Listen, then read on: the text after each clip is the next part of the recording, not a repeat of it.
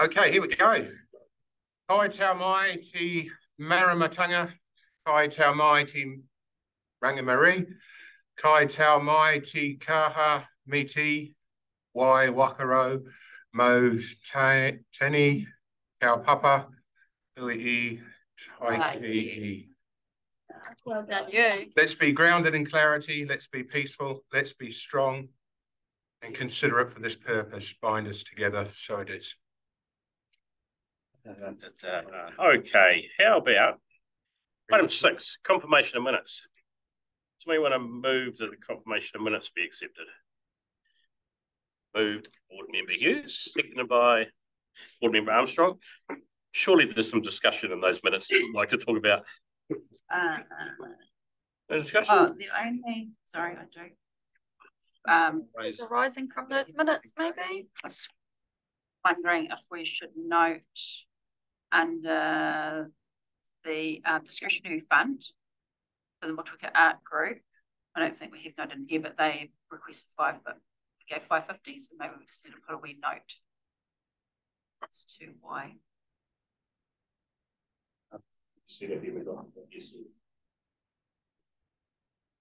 No, no, no, no, no, but um, we had a discussion last week. They requested- No, yeah, In case anyone sees it and queries. Okay. Yeah, so was that a? Yeah, Board Member, Councillor Walker. Oh, sure. Uh, just wondering about matters arising from those that didn't get addressed last month that were meant to be addressed this month. And that would be, um, something that was raised at public forum. Chair's report, gone for the members. So if that related to the letter, there was some confusion about being, but left, to lie till this meeting or not to lie. So that I've left it pretty open for the chair's report for that to through. So I think it'd be the place. So with those um discussion on the minutes, that's pretty good. All those in favour say aye. Gets carried. So we now go to item eight point, must be one. So the election of a chair. So before I vacate the seat, I, I just want to, I guess I just want to give some observations of the difficulties that it has been as a councillor to also be on the community board. So, um, a key part of the community board's role is to advocate and to, I guess, question and hold council um, to somewhat to task in terms of delivery services for Motueka. Um, as ward councillors, we're often in a dilemma of that district-wide stuff plus um, the Motueka bit, but I think it's a it's a struggle for somebody to sit in this chair as a community board chair and also um, push back on what council has decided because obviously the three ward councils are part of that decision. So um, thank you for the time that it's been there and and tolerated that. But it, for the community board's success, I think it's time for a new chair, and that may well be a councillor, but it's not this councillor. Um, and I just want to, um, while I got this opportunity to speak, is that the elected members had a workshop on strategy and purpose and some values um, early earlier in your um, triennium. Um, I'd probably encourage you as you go through code of conducts and the other bits to revisit that, relook at that again, because the way that this board gets things done is for the majority of the support to agree on things. Um, and without having a single vision in that and that supportive and that respect and the um, to be able to have robust conversations, this board will struggle. So um, you had a document that said this is how you um, wanted to work in that, and I don't actually know if we've probably even read it, but um, you know, I, I just urge the board to spend some time under the new chair and regrouping and, and getting that together, and I'm sure that will happen. So with that, can I call for nominations for chair? Board Member Hughes. I would like to nominate myself. I mean, no. Um, I'd like to nominate as chair, deputy chair, Miss Graham. So your seconder. Board Member Armstrong? Are there any other nominations? So what I'm going to do is, so we have a nomination for Trina Graham to be the chair of the Motueka Community Board. All those in favour, please say aye. Aye. Against? Congratulations and carried. well done. Um, so through Mr. Kirby, as we pass the, uh, do you want to address the deputy chair role now? Or do that next.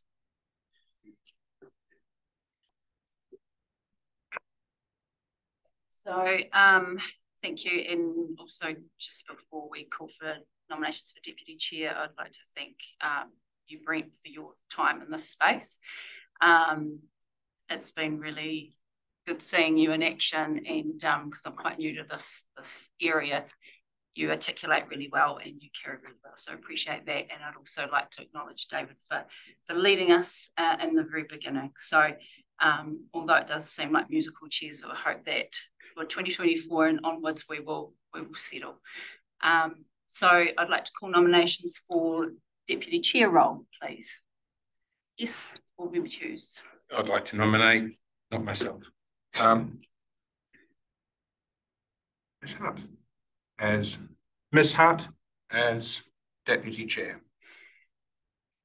Do I have a do I have a seconder or do I ask for a seconder? If I've got a seconder for I don't mind seconding um board member Hutt. I'm assuming I can do that. Uh any other nominations? Deputy chair. Okay, so we'll move that uh, board member Hutt is deputy chair. Uh, all those in favour say aye. Aye. Anyone against? Or abstain from voting as a councillor. Oh, actually, you didn't in the last round, but all good. Yeah. So carried, so congratulations. Hmm. Next, next year you'll be over here. All right, okay, so I've got to carry things on now. So um, we don't have any apologies. Um, we will open now Oh, actually, first, I just want to quickly check if there's any declarations of interest. Good. Um, and uh, we'll open the public forum. So we have got five speakers. Is Isabel Monahan here? Kia ora. Welcome up. You're going to be talking about Pū in the Park.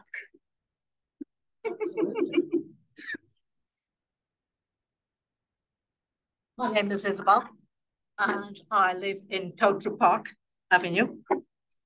And I was talking to the ladies in the council office with Emma a few weeks ago. My husband and I have two small dogs. We walk them twice a day, always without fail of picking up poo. We gratefully uh, appreciate the poo bags, dispensers and bins, although it would be nice if the bags were decomposable. Unfortunately, picking up poo after dogs is something that people fail to do, even to the point of refusing a bag that, that is offered to them. Consequently, one sees excrement on pathways, grassways, on verges, and even on the beach. So a couple of weeks ago, my small 11-month-old Schnauzer decided she was going to pull her lead, and she went into the bush up in Towdra Park and came out with a bonus. And that is a human poo, which to me is really un, not acceptable. Discussing the event as an isolated incident, I wonder what we can do as, or what you can do as a council. Can we be more proactive in patrolling areas? signage, provision of poo bags and bins in all reserves. Or even given the damage done in the green area by a four by four, could the council see their way to put up cameras? That's my discussion. And I would love some feedback. Well, is there any um,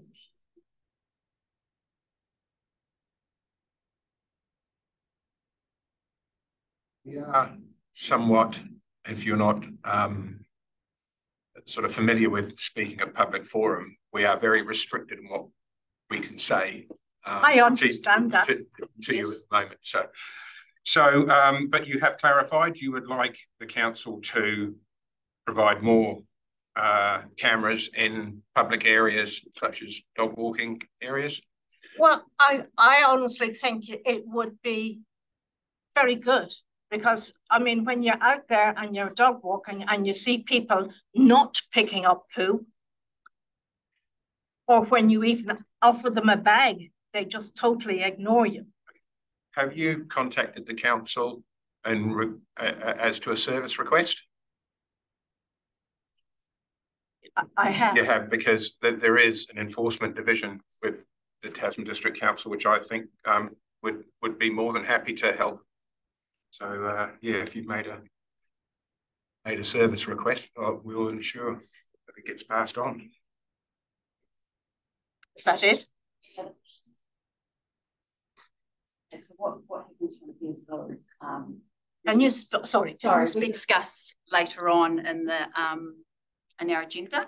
And then any outcomes, you'll get an email thanking you for coming along and if there's any outcomes from our discussion.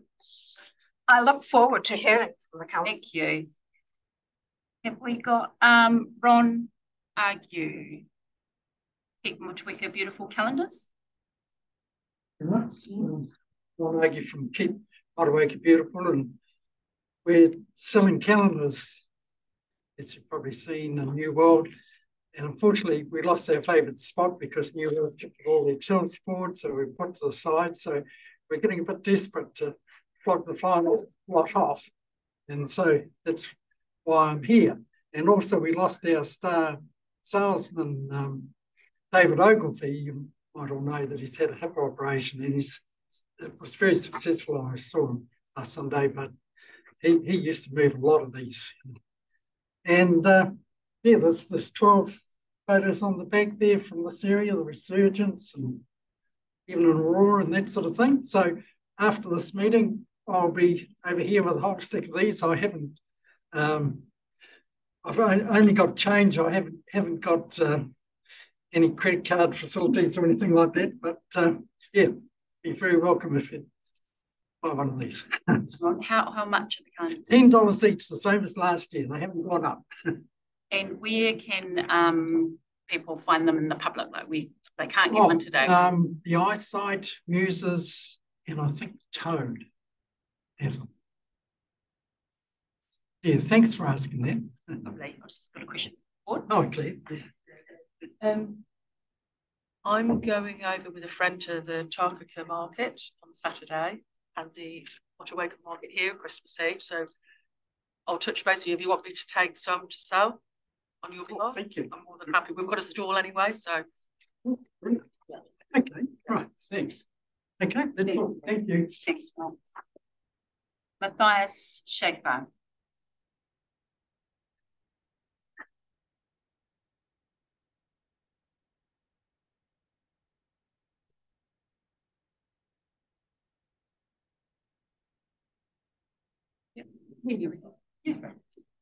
Uh, from time to time, I get these kind of rates invoices from TDC. And in the past, I had an issue and I sent a letter to TDC to clarify this and another letter and another one, but I never got a response. And then there's your email address. Then I sent them an email and I got a response. Quote, the council considered it has responded appropriately and will not corresponding with you further in relation to your claims, which is a bit weird because I haven't received a response before. So I called them with this phone number that's here on top and talked a bit on the phone with the lady, explained my case. But then again, she said everything has responded to, which is a bit weird. So, and I asked, at what date did you respond? And asked a few other questions. And then finally, she didn't give an answer, but she hung up on the phone, which I think it's not appropriate. So I called again, but was not able to talk to someone from the rates team. But instead, I got a text message on my phone back. Good morning, Matthias. In response to your call on 22nd November, we will uh, only responding in writing regards the rates team, which is like back to square one because I tried a lot of writing before. Um, however, a week after that incident, the TDC took $2,200 out of my bank account based on that rates invoice, which I wanted to clarify. And part of this was for fees and penalties, which is a bit strange. So now I'm having this damage and I cannot do anything about this because letters are not responded to, phone calls are not working, and staff doesn't provide any names anymore in their correspondence, so I cannot file a complaint. So the only tool that is left is that I speak at a public forum. Uh, but even that was under attack. I wanted to give a speech last week at the full council meeting, but the mayor decided that I'm not allowed to show the material that I wanted to present last week. And the most frustrating part about this is that these kind of incidents are not only happening to me, but also to a lot of other people in our community. The ones that are labeled violent, despite the fact they don't threaten anyone. The ones that are labeled not complying with the law, despite the fact not being convicted of any wrongdoing. The ones that are labeled having ongoing fantasies, despite the fact speaking the truth.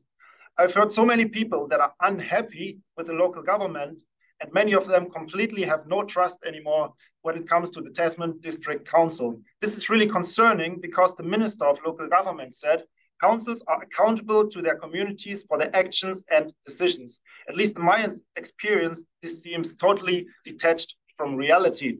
So I'm here today to make an offer to the people of Tasman. I'm willing to start a group, an entity, an organization, however you want to call it, that acts as a watchdog for the local government. I want to make sure that this local government stays within their boundaries. I want to see transparency. I want to see accountability. I want to see decision making that is based on democratic principles. And I believe we need such a group that scrutinizes the local government because I know personally how hard it can be if you're on, on your own and fighting against an organization with hundreds of people and an almost endless amount of resources and powers that they can use. And in my case, have used. So feel free everyone to join me on that mission. Everyone is welcome, everyone is invited, because I know many people have limited time, limited resources, uh, don't have the skills, or a lot of them are simply afraid to speak up about their incidents with TDC. Come to me after the meeting, talk to me. You can ask the community board, they have my contact details, and I'm happy to talk to everyone who thinks the same, that there is an issue with this local government. I believe if we come together as a group, we are much stronger and can turn this around, and we can bring a real strong sense of democracy back to Tasman. Thank you.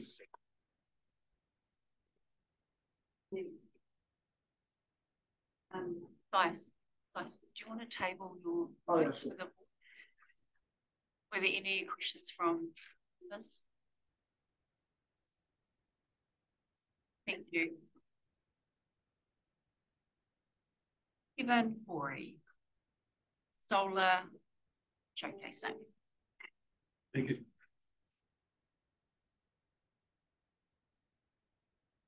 Committee members and councillors, um, celebration time. I think it's Kiri Hiri Kiri Imeti, so Kiri Imeti to everyone. And I have a celebration to share because of work done by one councillor probably a year and a half ago. And the new screens are ample. Um, it's going to exemplify what we've got. On top of this roof, there are 156 kilowatts of production, 290 panels. And right now we're sitting in a solarized building. You can feel the difference. It's not coal fired, it's totally solar fired. And currently we've got 69 kilowatts coming off the roof, exporting to the grid at 48.6. And that is what is called raw data that in itself is fine, but uh, data can become quite boring pretty quickly. So if Emma could flick on to, um, I will share the last one.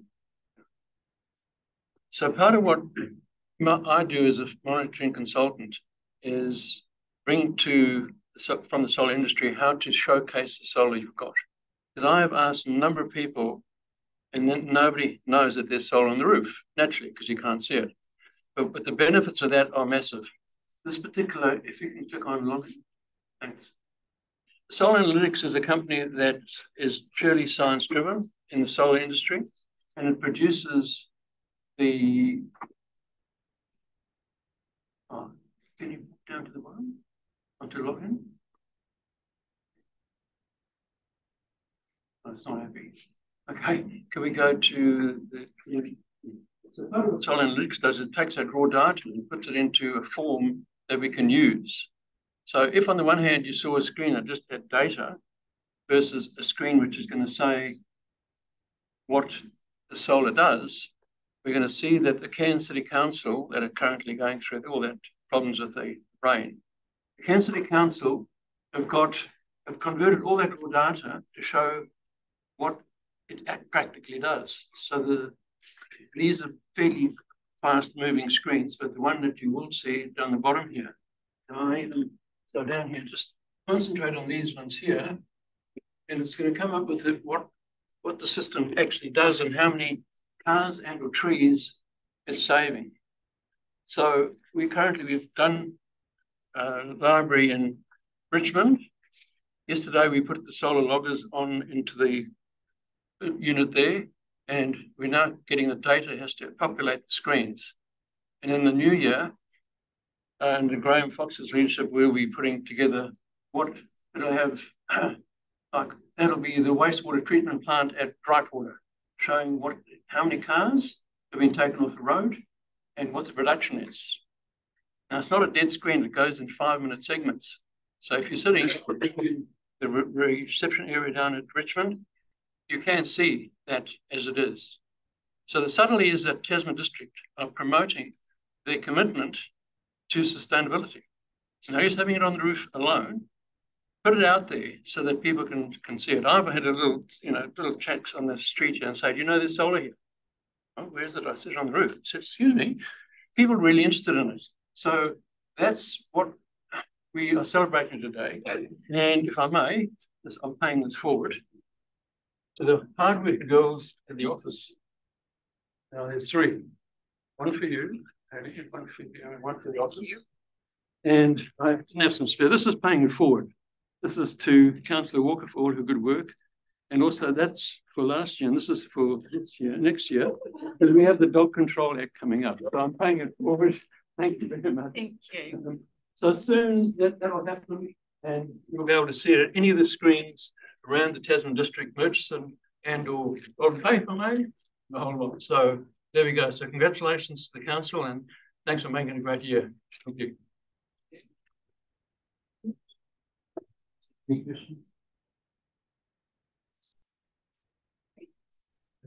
Um, Christine. Kristen Schaefer. Hi.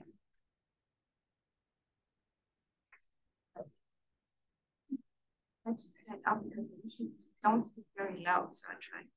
Um, so today I would like to speak about public interest. I would like to ask the community board to advocate for guidance given to members of the public who present matters via the public forum or express their interests in having meetings held in public. When one registers for a public forum speaking slot, we are given guidance as to what cannot be shared or about restrictions on how to share certain views. I note that the latest email I received said Council standing orders state that any issue, idea, or matter raised in a public forum must fall within the terms of reference of that meeting. I understand that the standing orders say that if a member of the public specifically raises an issue that is on the agenda of that particular meeting, one should be given the abilities to speak on the topic. I don't think there's any restrictions on general topics for presentations to the Motueka Community Board. As to my understanding, the scope of the Motueka Community Board is not limited to a narrower topic like the Environment and Regulatory Committee, for example but is instead there to obtain views on topics of interest for the community. If my understanding is not correct, could you please let me know? Further, I shared my views and input either during meetings from full council or the Motueka Community Board, in person or via email of, uh, to councillors or community board members. However, I'm not seeing formal responses to the matters I raised and wonder if there was any procedure that would be provided to members of the public so that they can understand whether or not they will be given a formal response to the matters they raised. This would also help to understand whether or not to speak, uh, whether or not it makes sense for me to speak, because preparing speeches may take some time. And I would prefer that the time and effort I put in my speeches does receive some acknowledgement or feedback. Otherwise, I'm starting to wonder what the point is to speak at a public forum. I noticed that one of the topics I brought up at council meeting, namely that I would like to count that would act, that I would like council to provide publicly whether or not the, the members of the executive leadership team, other than the CEO or COO, were in fact officer roles or merely manager roles. I did not receive an answer to that question other than a TDC lawyer stating that any staff was an officer. However, in the latest agenda for council, I noticed that council was informed a new role is being created, namely the chief financial officer role, which would confirm what I was wondering, namely that the manager roles are man manager roles and not automatically officer roles. I would like to inform you as a community board that there's a public interest for clarification and transparent information. And I would love to see that a member of the public would be given an information about the matter once they have raised it, or at least a confirmation that this matter does not is not considered of public interest.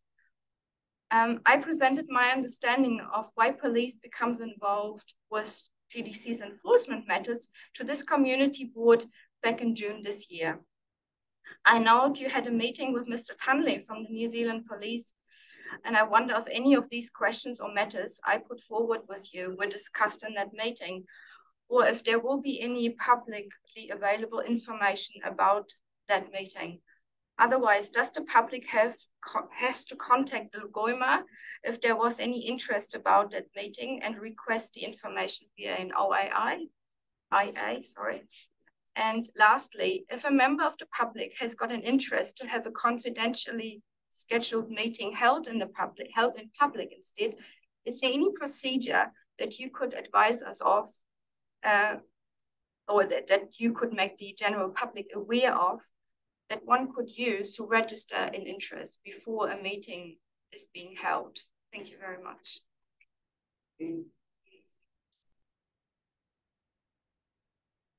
Uh, sorry, do you want to table your notes? Yeah. There was a lot in this. Thank you.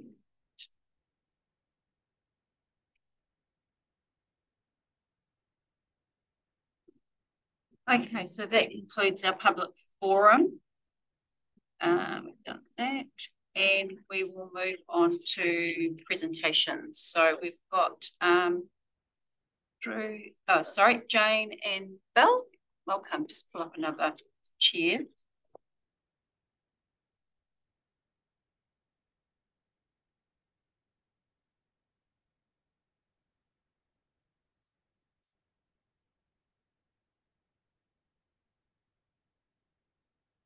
Time today. So we're just coming um, in front of the community board to discuss the speed management plan, which is currently up for consultation.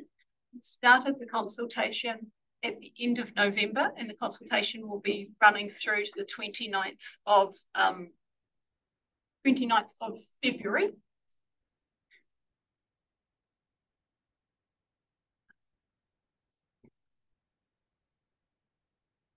Skip on to the next one. Thank you. So just a quick overview. Um, it's Nelson Tasman, uh, sorry, Nelson City Council and um, Tasman District Council are jointly consulting on this. We're looking at um, all of our roads in the district, uh, but not our state highways. So it's all the roads in the urban areas and in the rural areas under the speed setting limit, the setting of speed getting that right today, the setting of speed limit rules, um, we are required to have a speed management plan. Um, so we are out for consultation. We understand the new government will be making amendments to this plan. At this stage, we don't know what those amendments will be.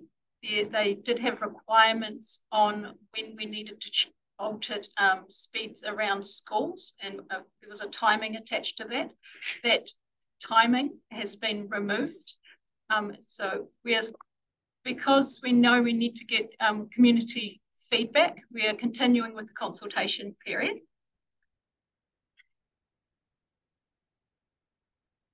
So just this is this one's just a recap of why we're talking about speed. So again, more people um, die our roads per head of population than in similar countries.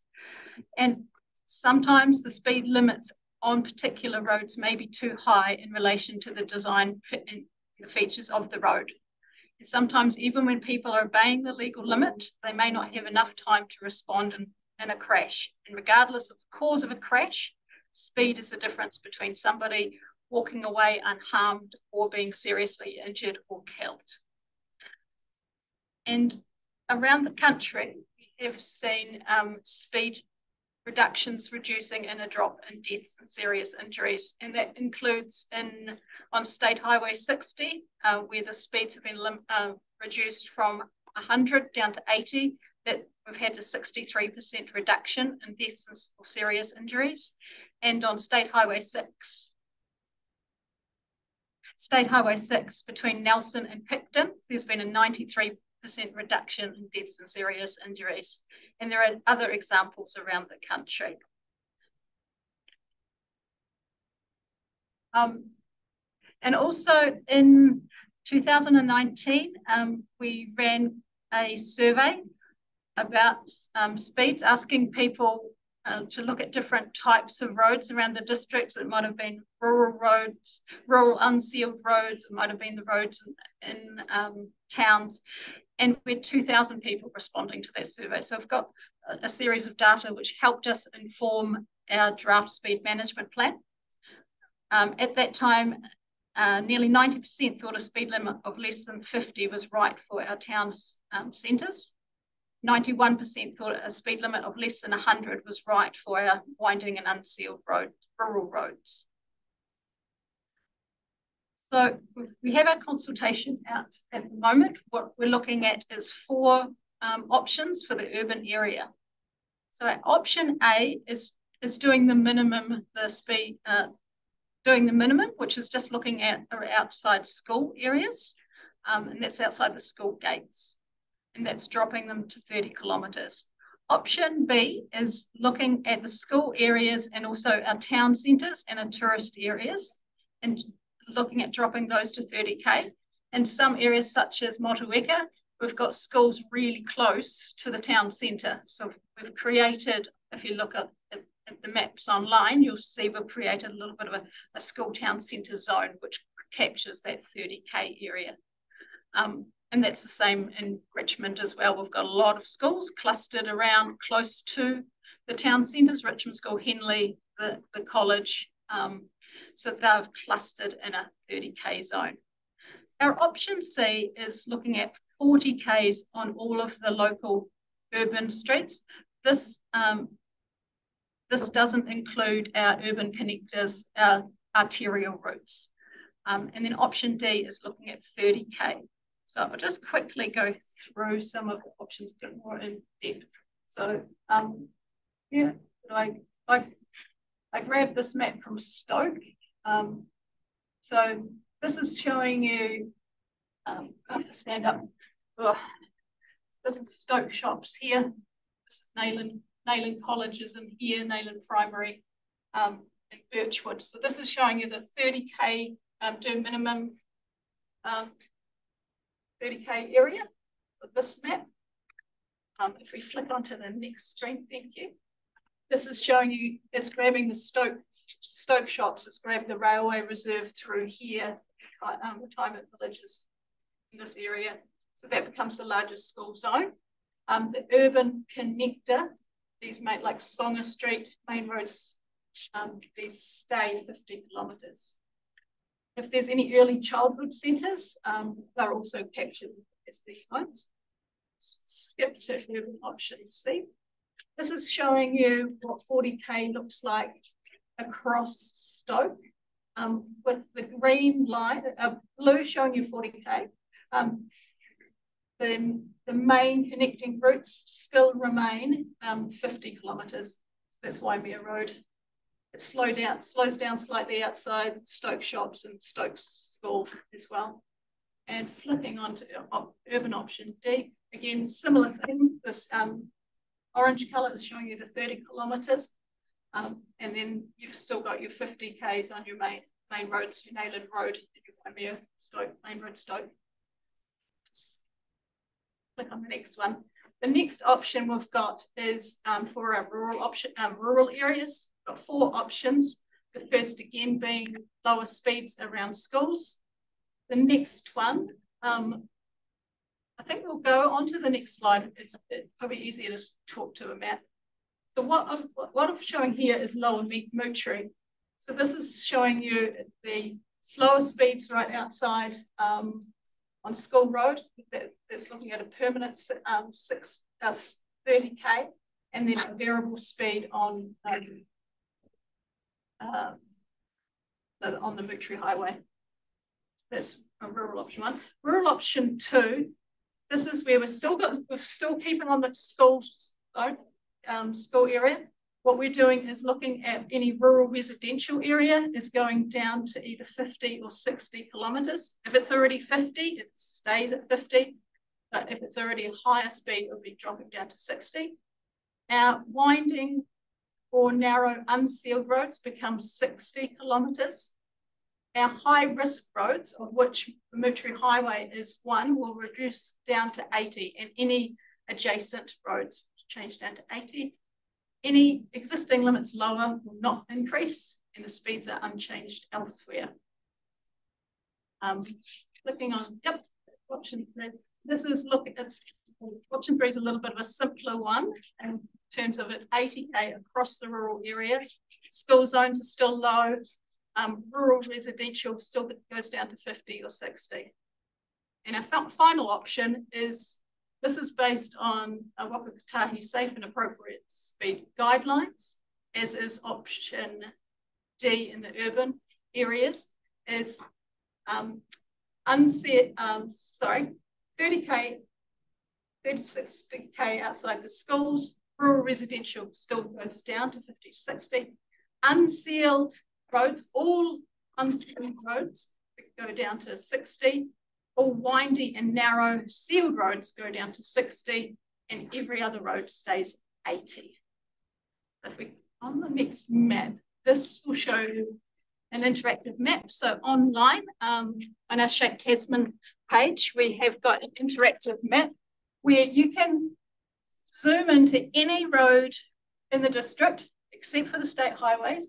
You can click on a street and whichever street you click on, it will show you the options. So if it's in a town, it will show you the urban options for that particular street. If you're in the rural area, it will show you the rural options.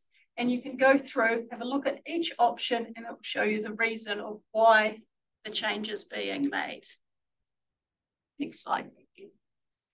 And sorry, it's a little bit blurry. So there's uh, quite a few ways to um, give us information, um, give us feedback. You can email us on the safe speeds at tasman.gov.nz. Um, we've got the Shape Tasman page. We've had 500 submissions to date. Um, and we've also had pop-up sessions. We've been to the Motueka Library. We're there in the weekend. We've been to the AMP show here, here and, and um, um, the Nelson AMP show. We're off to Murchison's AMP show and um, Takaka's AMP show around the district. Um, so that's, that's all we have. And little have I left anything out? No, no, that's it's the whistle stop tour of the speed management to date. And and I guess yeah, you're you're all welcome to join us at the at the shows. We're back at the library here early in the new year, aren't yeah, we? We are. On I think it's I think it might be the week of the eighth, week of the twelfth. We're coming back. Thank you. Um, just a couple of questions. So, because I remember we met way back, we did a wee workshop. Um, has anything changed from them? Because you gave us a bit of a graph of those options. Has anything changed within the options from back then that you can call? I don't think so. We may we may have added the 60k on windy and narrow unsealed into one of the options. It's the option three, I think it is. Yes. Yeah, through you, Madam Chair. Um, thanks for your presentation. Can you, if I was to go onto that interactive map, would it show me exactly how far the 30k stretches if I'm, for example, outside um, on Park Street by school, Parkland School, does it show me how far that 30k stretches? Yep, it does. I can get you to bring it up if you want. No, I don't think we have time tonight. I just wanted to clarify because, you know, it's great you come and do a presentation. It's not so great when you use Stoke as an example. It would have been better for you personally to use Motueka. Um, but it's good to know that anyone sitting in public forum can go on there and actually see when we say we're doing 30k outside of school, just how far that 30k actually extends, because I'm sure it's not between the boundaries of the school. Thank you.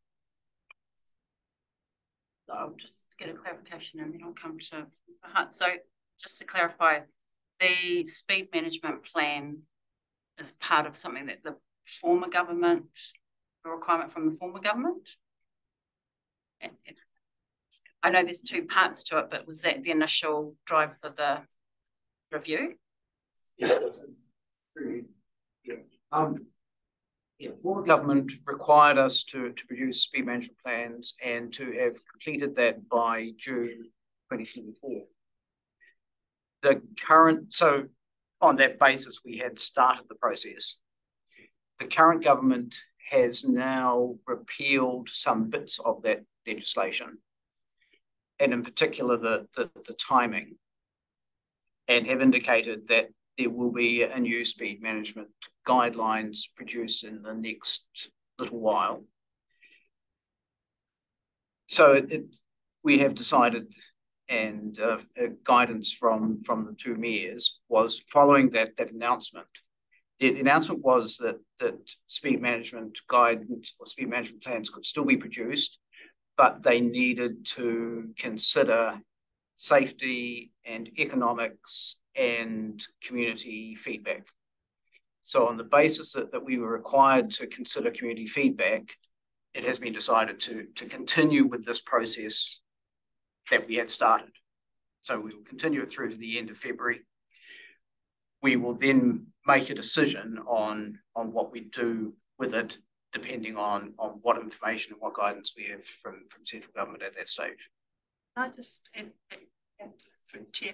Um, so prior to May um, 2022, councils could make bylaws to um, for the speed around their own districts. Um, the the new rule was um, was announced. So from 2000, 2019 until today, we haven't made any well, a, a, handful of very small minor adjustments to speeds while we were waiting for this new rule to be in place. Once the rule came in place, we said, right, we need to make a new speed management plan to, because we've been hearing from the community, various community groups that they wanted changes around the district. So we've collated that information and said, okay, we've got all of this information now, let's go out to the public. Since then, the rule has potentially changed again, but still set things in motion. That's great. That's great that you are going out and consulting and got different pop-ups and stuff. Um, considering the survey response, I think that's from all of Tasman and Nelson, that's like 2% of population that responded. Um, in those consultations, I just ask if you can, with your um, stats, just provide a little bit more detail around the dates that those uh, for example, the date range for the drops in death uh, was at around the time everyone was locked down, or you know, just provide a little bit more um, uh, information around those stats and the and the and the numbers uh, and the rate of death drops and stuff, just to give uh, a fuller picture for the public when they're making those decisions and feeding back. That would be great. Uh, Board Member Hughes. That was what I was going to ask we have some clarifications on the 93% drop, when was it, etc., etc. Um, because I mean, I drive the Nelson, oh, sorry, new to this, through the chair. Um, Nelson to Picton um, is a great road, except if you were towing something and you always felt guilty, you're pulling over all the time to let people pass. Now it's actually a lot easier, it's nicer road. Um, so yeah, but 93% drop in deaths and serious injuries since, well, it's only been a couple of years. So have 100 people died on the road and now only seven have, have died? I, I, how do you come about the statistics? So if you could just forward the statistics to us, that'd be great. There we go. Shut up now. Yeah, Chair, on, on the website, we do have a link to our crash data, which is more in depth, but I can send that out after the meeting. Sure. Um, Armstrong? Uh, to the chair, and to the chair, given the, the uh, end of feedback that's been run just after uh, this meeting, um, I'm time to probably to think about whether uh, we have a, a, a workshop or for the community board to make a submission as a board. You.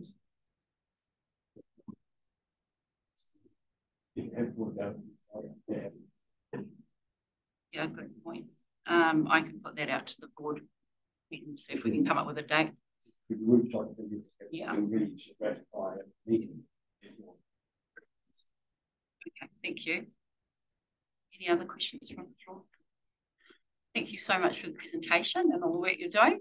Appreciate that. We've got a presentation from Drew Hayes Downer. And Drew, yeah, yeah.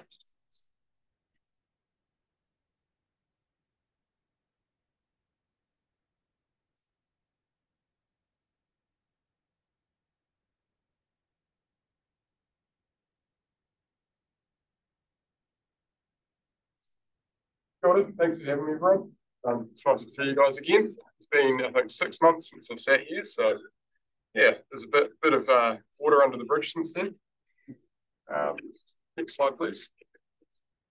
I guess we'll just, um, well, I guess firstly, apologies to councillors uh, Walker, Dowler and Maru. This is a Motueka-based version of the presentation I did to council um, a few weeks ago. So a lot of the same statistics you're going to hear and um, quotes and whatnot. So I guess what, have we been doing in the last six months? Um, we've been obviously maintaining the unsealed roads around the district. Um, the Motueka ward does have slightly less proportion of unsealed roads. So um, our grader operators completed about 37 kilometres of uh, grading on the roads, which is still a fair whack. Of interest, we've actually spent a higher proportion of money on maintenance metalling on those Motueka-based roads. We've put out um, 1,400 uh, cubic meters of material, uh, which lines up with our asset management strategy um, of investing in the wearing course. Um, historically, it's been sort of the poor cousin, uh, the budget that gets robbed to pay for other things, but we've been pretty, pretty, um, yeah, we've held fast and really spent the money where we needed to. And as a result, we've seen a reduction in grader hours on the network.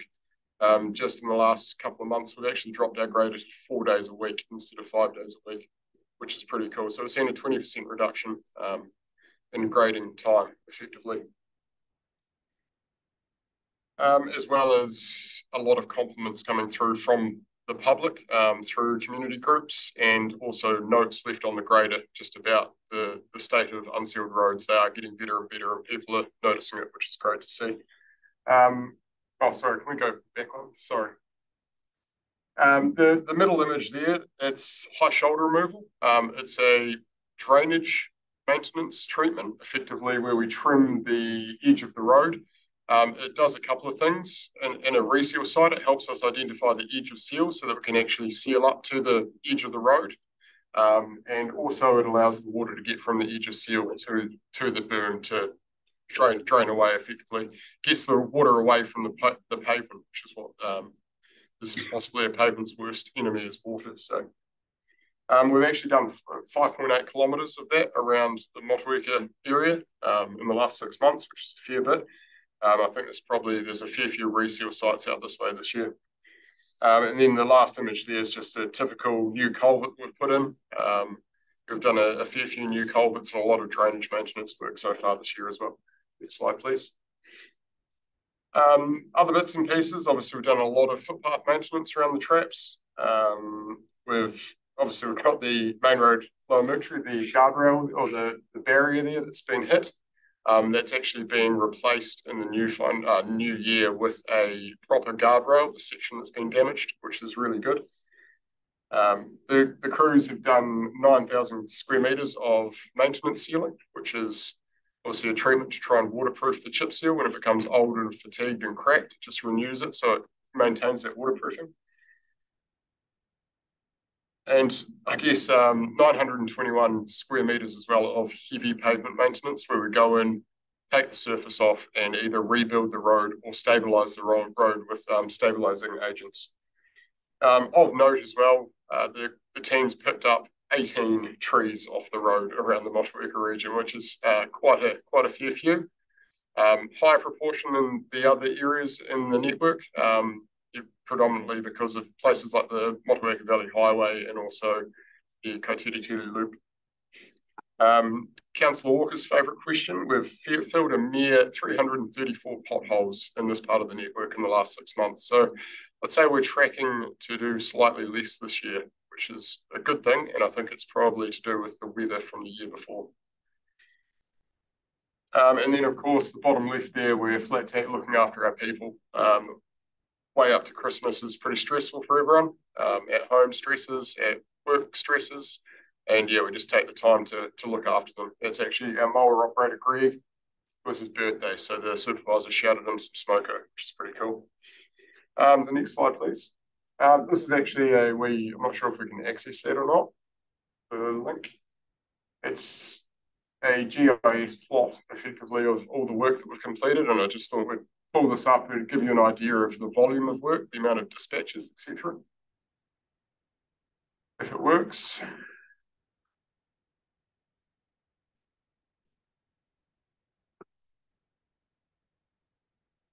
It's pretty quick. So you can see there, it's all, all um, grouped into areas. Um, and if we zoom in, I don't know if that's possible or not. If we zoom into, yeah, just any of the areas, it sort of splits out into bigger numbers. And you can actually go right down to, say, just pick one of the dots without a number in it, out to the left there a little bit. Yeah, that one there we can actually see see what the, the job was and find some detail about it as well and link it back to RAMM. So if you guys are interested in that, let me know and I can drop you an email with a link to the map. Pretty cool, pretty cool um, plot. Um, next slide, please. Uh, this going forward for 2024, um, we've had a pretty big six months. We've had up to 12 crews on the network, which is a lot of people. There's been a lot of expenditure today, but it's put us in a really good spot to close out with our major pro programs of work. Um, for example, we've got our asphalt renewals. Um, the sites in this ward, or the Motueka ward of Wildman, obviously that's been done. Had some great feedback from the, the resident just there. So it's the quietest he's heard it, which is fantastic. Um, and also we've got two sites on Umukuri Road to do in Ashfield as well. Um, we've also got our area-wide pavement treatment, which is up Church Valley behind Wakefield this year. Um, the road's just falling to pieces there at the end of its life as well as we're in January we start our annual remark of the road markings. Next slide, please. Oh, yeah, you can if you can make that play, then fantastic. But if not, we'll do it. Um, a major part of our expenditure each year is reseals. That's sort of what we gear up to do. Um, all the a lot of the pavement work we do is to get the roads ready and serviceable to be able to reseal to give them a, another, um, you know, 20 odd, 20 odd years before the next reseal. Um, we spend approximately about $4 million a year over the entire district um, on reseal. So it's a fairly big expenditure for council. Next slide, please.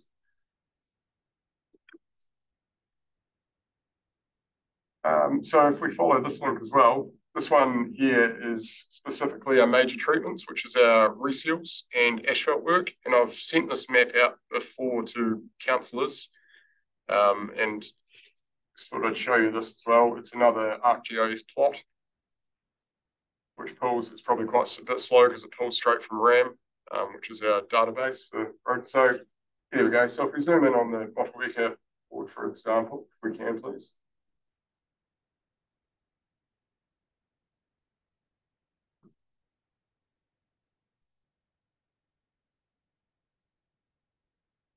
The, I guess the zoom, if we zoom right in on one, it would be a good one. Yeah, maybe click on Paul Street. It'll tell you what the treatment is, um, the area, where we're starting and where we're finishing. Um, so you can actually get in and see, you know, when when residents ask you questions about when's my road going to be resealed, etc. You guys can actually jump in and click on, click on it and you can see the treatment lengths, etc. Which is pretty cool too. So next slide, please. Thank you.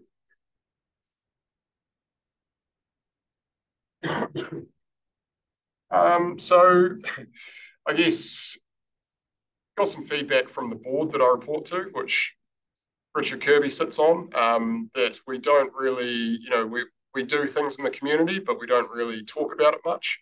Um, so we've actually started on the, the board report that I write each quarter for the, the principals group, um, including some information. So I thought I'd just share a couple of bits and pieces with you guys from the previous uh, month. Um, I'm involved with Natureland Wildlife Trust. I sit on the board, um, bit of a donation of my time because I think they do some cool things. Um, and I put them forward into a program that Downer has called Downer Donate, where they, they pick a charity or charities per month and donate a certain amount of money. So we actually got um, $9,000 donated to Natureland, which is a pretty cool um, donation to a not-for-profit charity. Um, more, more apt for the Motueka area would be the, the North Street Reserve Park Link sponsorship. And I know that that's been to this meeting before. It was going to be in Transport Choices and it wasn't. Um, but yeah, Down is actually going to sponsor um, the park link effectively, which is pretty cool. So yeah, our crews will be rolling in in the new year and delivering that. And then um, Claire, you got me to talk at the last meeting I was here about the um, share the road training that we we undertook um, at the Weet-Bix Triathlon and various other places. We actually rolled that out at the um, Richmond AMP show as well. We joined um, up with Council's road safety coordinator, um, the New Zealand Police, and a few other um, play, yeah, um, companies, whatnot. Um, and yeah, we delivered the training, and we actually won um, best best um, commercial show or something like best. We've got a wee ribbon anyway. It's pretty cool. Yeah. So you know we're pretty pretty happy with that. So it's cool to see all of our leadership team there donating their time over the weekend as well. So yeah, that's um that's about me really. So if there's any questions.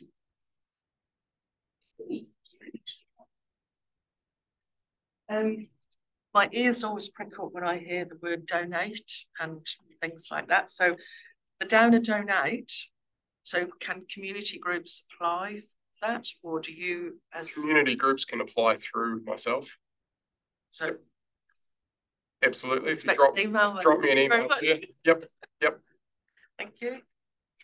Uh, Two weeks that way. Board Member Hughes? Yes, through the chair. Uh, I saw one of your slides there. That I have never been in there, but that was Berryfields.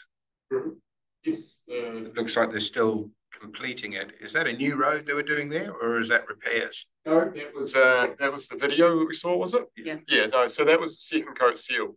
So when a road's first built and then got the first layer of seal over it, you don't get quite get enough residual binder to make the seal completely waterproof.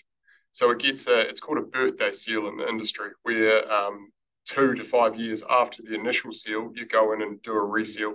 And that was the that road's um, birthday seal, if you will, which happened last yeah, happened actually last season. So all roads have the same amount of seal. In the district currently? Yeah. No, they're vastly different. Each road's got different treatments. Um, each road's got different historic treatments as well. Some roads have got this much, you know, this, you know, seal layers like that thick, um, and they become unstable after a while. So you can't actually have too too many layers of seal. Um, yeah, obviously every 10 to 20 years, depending on the hierarchy of the road and the volume of traffic, they get a reseal. Um, there's all sorts of algorithms, much smarter people than myself manage um, to tell us when, but the seal layers are different everywhere you go. Thank you. Yep, Deputy Chair.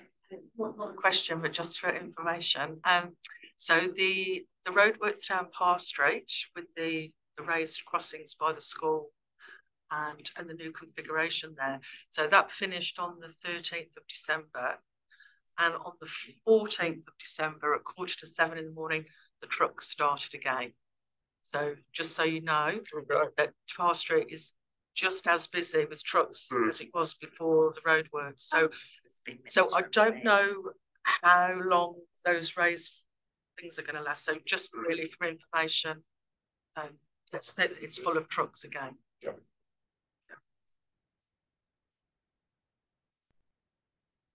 Excellent. Thank you for having me. Yep, Dave.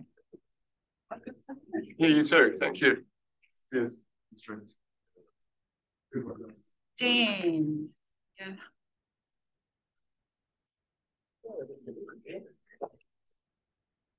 I want to do it. then.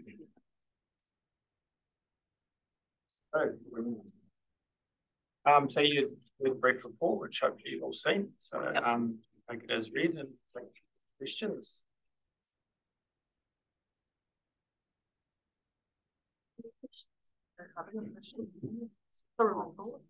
Um, uh, councillor Murray and then Armstrong.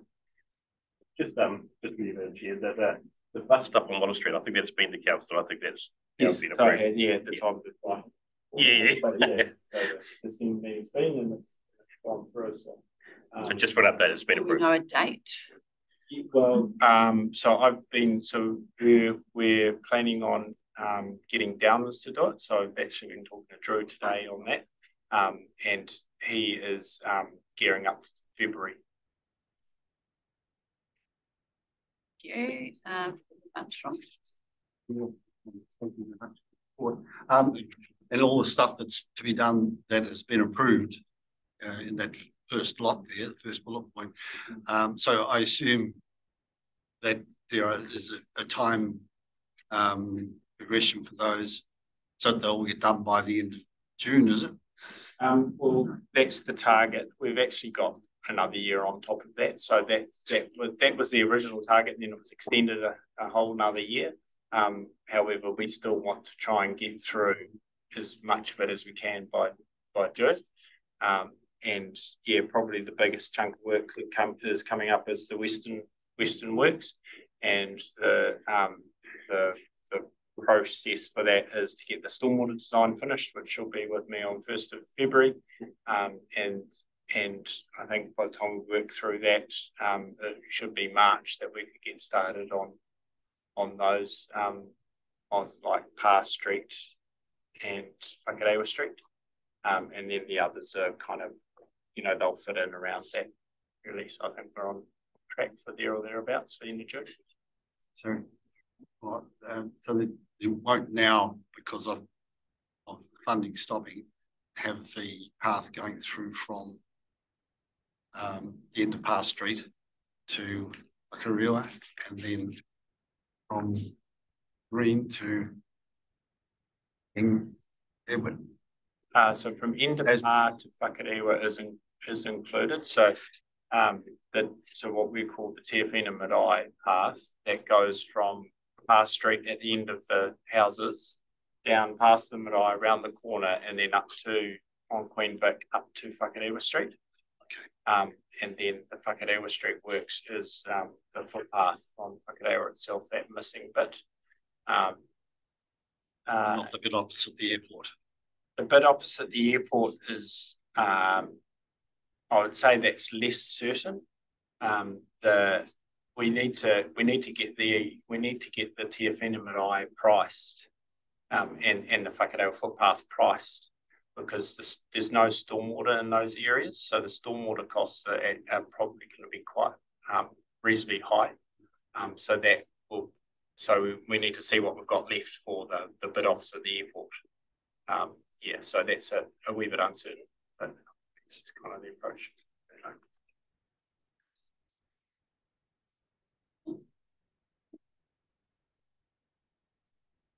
Right.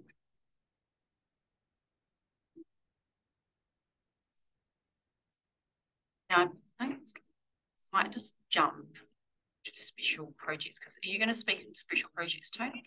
Yeah. Yeah, so should we jump to there so that you don't have to?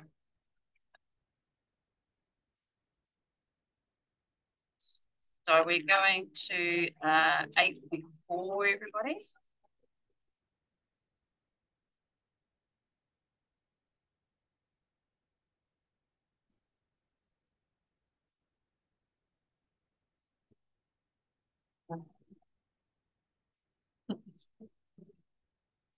Okay, we'll just go down the list and then um we'll stop at your parts, Tony. That's an update. So number one, playground update for Bush. It's you, Tony. Yeah, well, that one's on hold. So we So, yeah, consider that, consider uh, cities that are. So we're gonna defer all of them. Um, What was our dis? You remember? Chair, Yeah. I'm happy to come back in the new year and discuss that with you. I mean, it's, the- it's up to the um community board to reallocate funding, I I assume. Um, So at the moment, we're on hold. yes, yes, for both of those playground upgrades, yeah. Right, so the accessible playground at.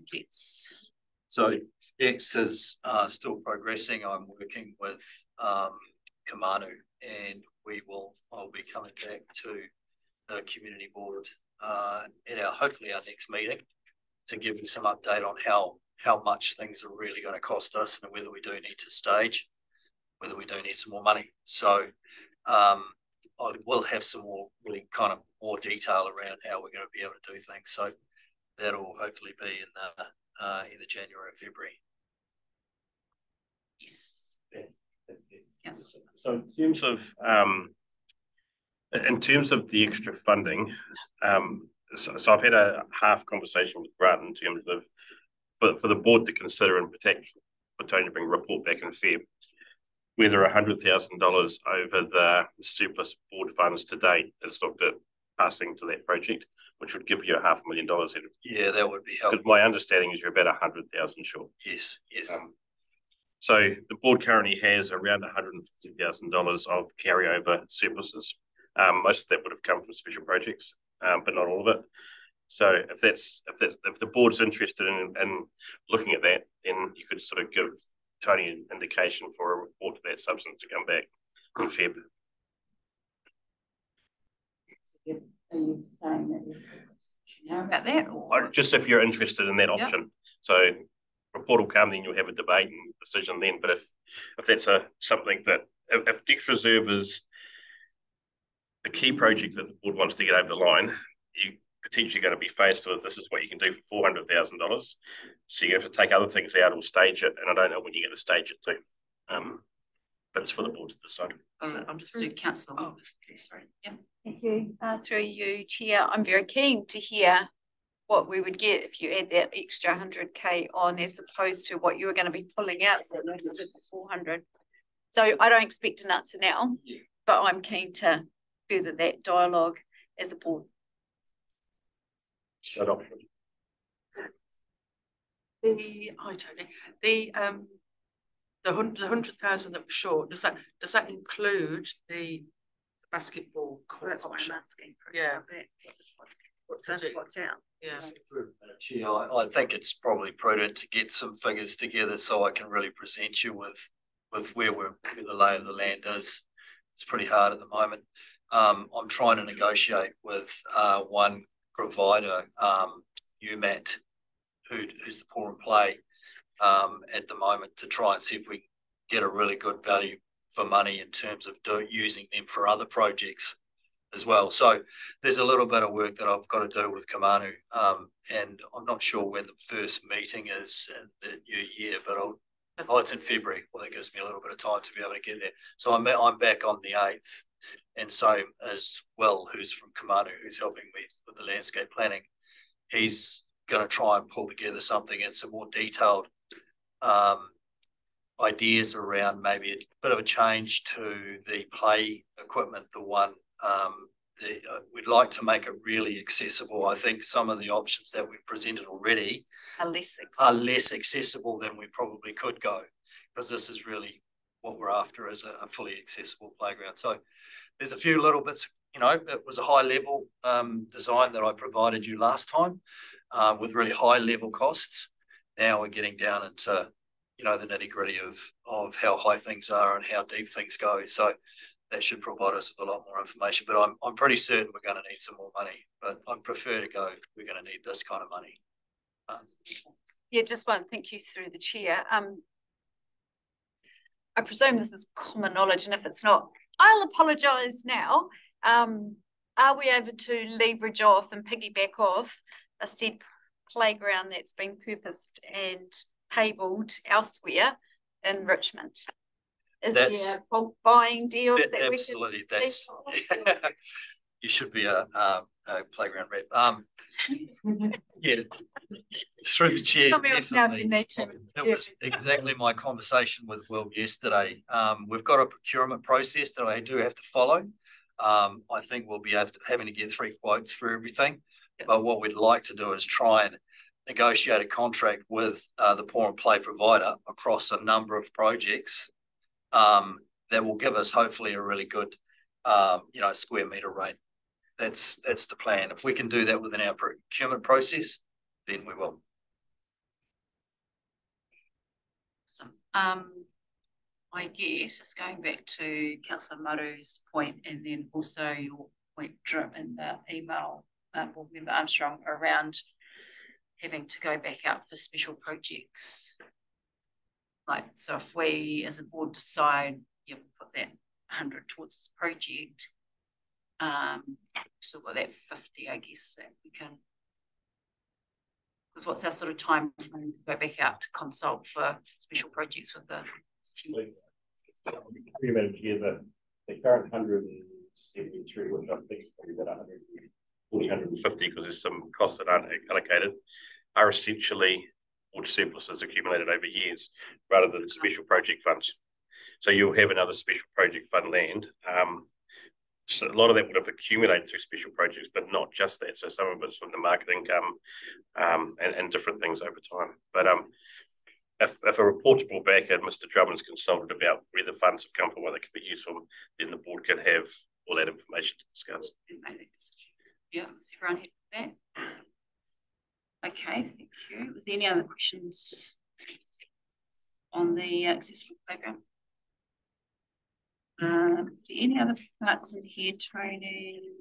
Um, yes, so through, uh, Chair, I have got some information coming around, but I think Downs has just confirmed that they were going to be going regarding the walkway at the other end of, I can't remember where it is now. Yeah, so that was what Lynn provided me today. Okay. Um, Steve asked me to present. Uh, is this the cemetery? Yes, and also Little Kaiteri to Stephens Bay Walkway Oh, yes. Um, uh, has been completed, so the Little Kaiteri to Stephens Bay Walkway upgrade, Little Kaiteri side using the ten thousand uh, dollars, uh, uh, um, money, um, it's been completed. Uh, Stephens Bay leading down to Cook Crescent will be completed in autumn using RFC sixteen thousand dollars. That was already we kept. Um, uh, and some iwi consultation has has already been completed. Um, Library landscaping iwi consultation has been completed. Still to complete uh, consultation with Koisa, is it Koisa? Is it Koisa? Yes, you. Um, uh, in the new year, and construction is planned in autumn when planting condition conditions are you know better. So, um, and then the Motueka Cemetery priority list still to complete. Steve will contact Ian Deputy Chair Graham uh, in the new year, but now you're the chair. So that's that's what he was commenting on there. That's, that's fine. The guys. Sort of wonder if we change the name of that project to the maintenance, uh, sorry, landscape management, because it's more about the maintenance now rather than a. It's good. To, to landscape management, yeah. Yeah, that's a good idea. Sorry, councillor Walker. Good. Just um, a point of clarification, probably, Tony, that um, my understanding, having met in a pro, yeah, this falls under the conversation of the landscape around the library. But I'm also mindful that it falls under Dan, who's now currently left. But so the library won another award. And part of that award was, if I understood correctly, that we got something like 10K. Which is um, being allocated, and I think Adam's un- overseeing the work, which is going to be a bike rack stand, a timber one placed out here. My understanding is probably parallel with the ablution block. Are we making sure that all our departments interweave so that the landscape that you've just been talking about is aware that Adam's doing that piece of work? Does that make sense? Henderson? Projects. Projects? Yeah. And there's funding I think there's. Well, hey, well, so the library won an award and that award is this, from what I understand, correct me if I'm incorrect here, councillor Dowler, but ten K, which is being purposed for a wooden bike rack, which is meant to complement other work that the Transport Choices team are doing on Wallace Street with placements of bus shelters, bike racks. Sometimes transport choices and reserves are involved in two different things and, and don't often talk, but. And projects is another one together, isn't it? That's a different stream, which is Adams. Project's actually doing stuff for uh, the, the transportation team, the transport choices. Yep. Projects team does stuff for reserves as well. Um, but in this case, Adam's been doing transport choices and he did the library here. Yes, He's he not did. involved in the landscaping. No. But that's what, that's what my concern know, is, that I you've got Adam sitting in that field, and you've got the landscaper sitting in a different field. And Steve's team, over. Just done an arrow between Adam and Steve and we'll connect. I get arrows. Particularly if they I come with understand. conversation. Yeah. no Thank problem. you. Yeah, I'll make sure they talk. Thanks, Tony. Okay. I said good on you. Pretty much. Yeah, that's what I was hoping. Um, but if you have any questions, yeah, feel free to come to me directly if you have any issues. So. Just got one, so, Chair, so the note that Lynn had, did Lynn also allude that she is using about five K from the swimming pool to the harbour master. The downers are doing from the, the- that swing arm, the pool, and then she was gonna do the other arm. Uh, sorry, I didn't read all of it out. So approximately five thousand one hundred dollar quote to resurface path from Saltwater Baths to George Quay to proceed in the new year. Yeah, that's the one, yeah. Uh, Saltwater Baths landscaping plan to be done for winter planting. That's the other two, um, points that she wanted me to make. Awesome, thank you.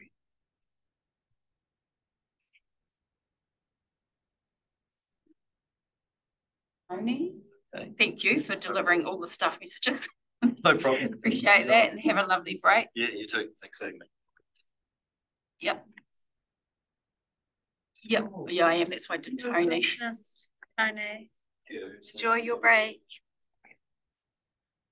Oh, yeah, I'm just gonna, um, because we've just got, um, maybe Hughes is gonna update us on beautification of High Street, but before we do, um, remember Knox, you're welcome to join us. Thank you. I think I'll just, just more agenda on what happened. Okay, lovely. I just wanted to try and make sure we had all our presentations out the way. Um, have you got an update, Hughes, on the? Parks. Yes, on the parks. Uh, my team have been very busy. Uh, and, uh, all the plaques are, uh, uh, at the printers in, uh, in Auckland and they'll be ready early next year. And my team have advised that, uh, they've approached the men's shed for the installation of such items. Geez, I'm onto it. With no help from nobody. Wait, um, I'm just checking that we covered. everything. Okay, so sorry, I've jumped all the way forward. Is there anything, um, in that summary? Is everyone okay with the financial breakdown in that summary? Yeah. So I just need, um, well, motion to receive the report. Can I have a seconder, please? Uh, councillor Walker. Everyone in favour, say aye. Against, carried. Okay. Yeah, I moved that, sorry. Right, we'll jump back to eight point two. The Cheers report. Just got one. Oh.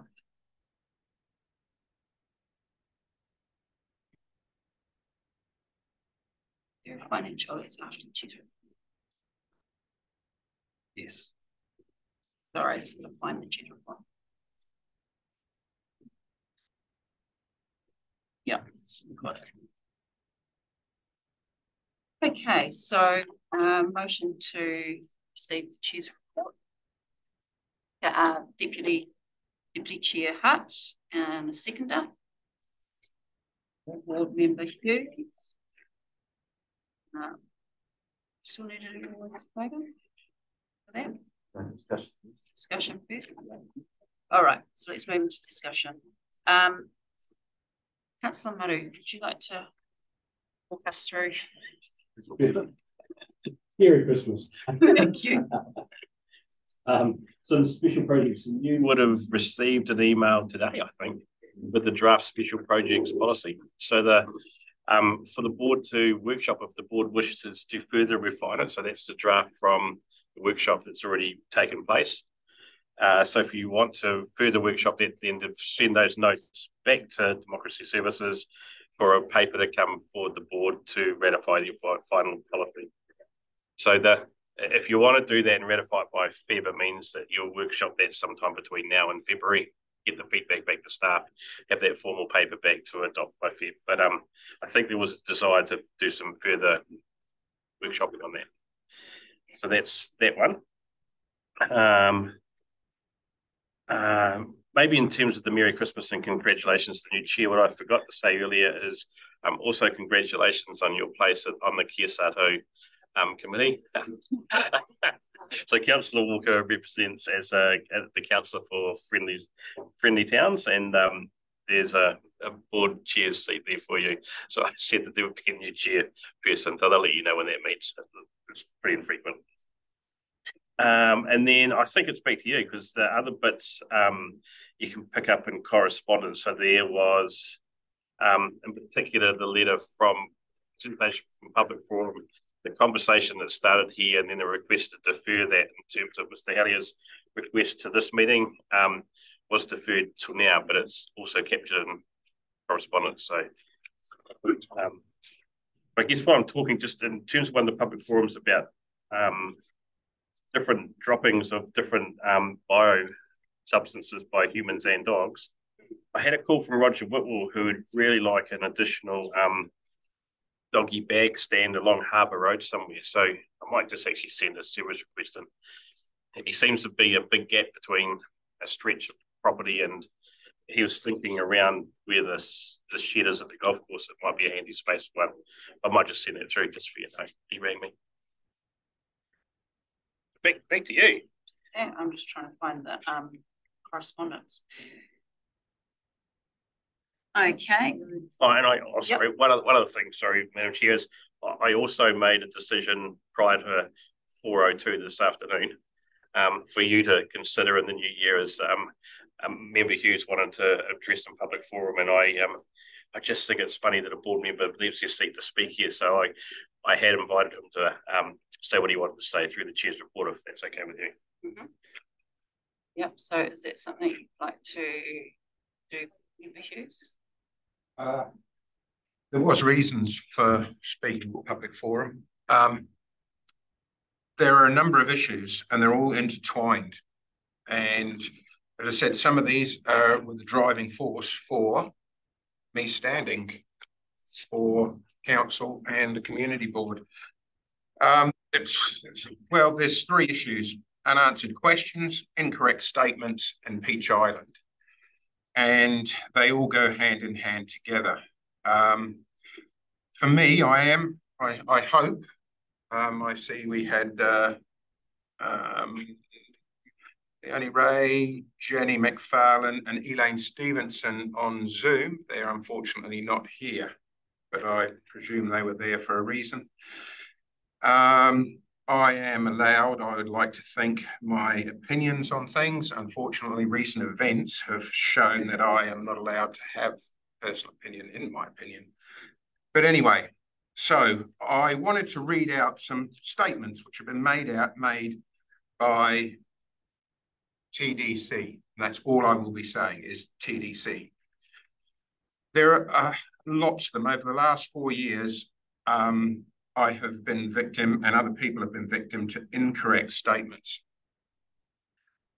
Uh, and I, I could sit here and read these out, but I've decided I'll we'll move to just one issue, which was from a Mr. Hellier.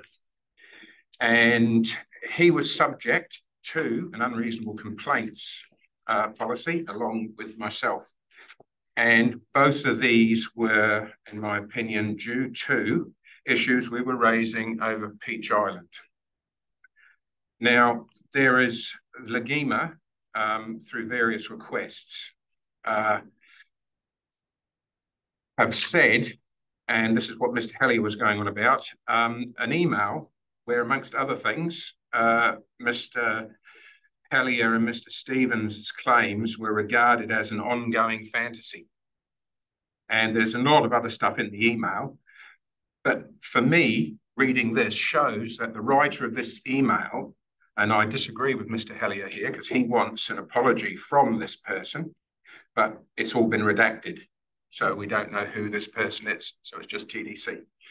It's clear, though, that this writer, the author of the person that said this is part of an ongoing fantasy, wasn't actually in the know. He had to get this information from somebody else in council. This is the important thing. There appears to be an organ grinder somewhere. Okay, so the other day, a car which we all take to be this ongoing fantasy turned up. And uh, my surveillance team advised me and Ray and Brett Stevens, and we shot out there. Uh, we decided that we wouldn't put it on a trailer like the other one, cause trouble. I thought I'd be more positive, and I took the VIN numbers and we documented the state of the vehicle oil packs in the back, that sort of thing. Okay, we then sent some photos to a counsellor. The next morning, that car disappeared. It's very good that we're able to uh, initiate such an excellent cleanup. Unfortunately, I've got photographs they actually just took the car, not all the jagged metal and that that was around it. That went later on. Okay, so this ongoing fantasy has in fact turned up. So Mr. Hellier and Mr. Stevens have proven to be correct. And that's, I suppose, what they would like an apology for. Um, for me, this opens up huge issues.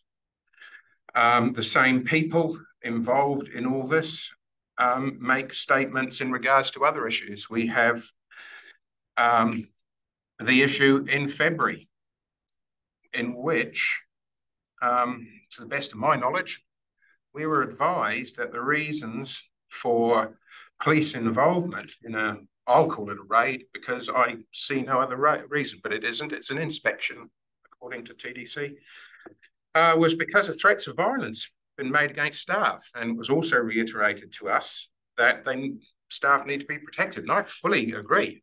If someone's going to threaten to kill someone um, in performing their lawful duties, yes, I am fully behind them.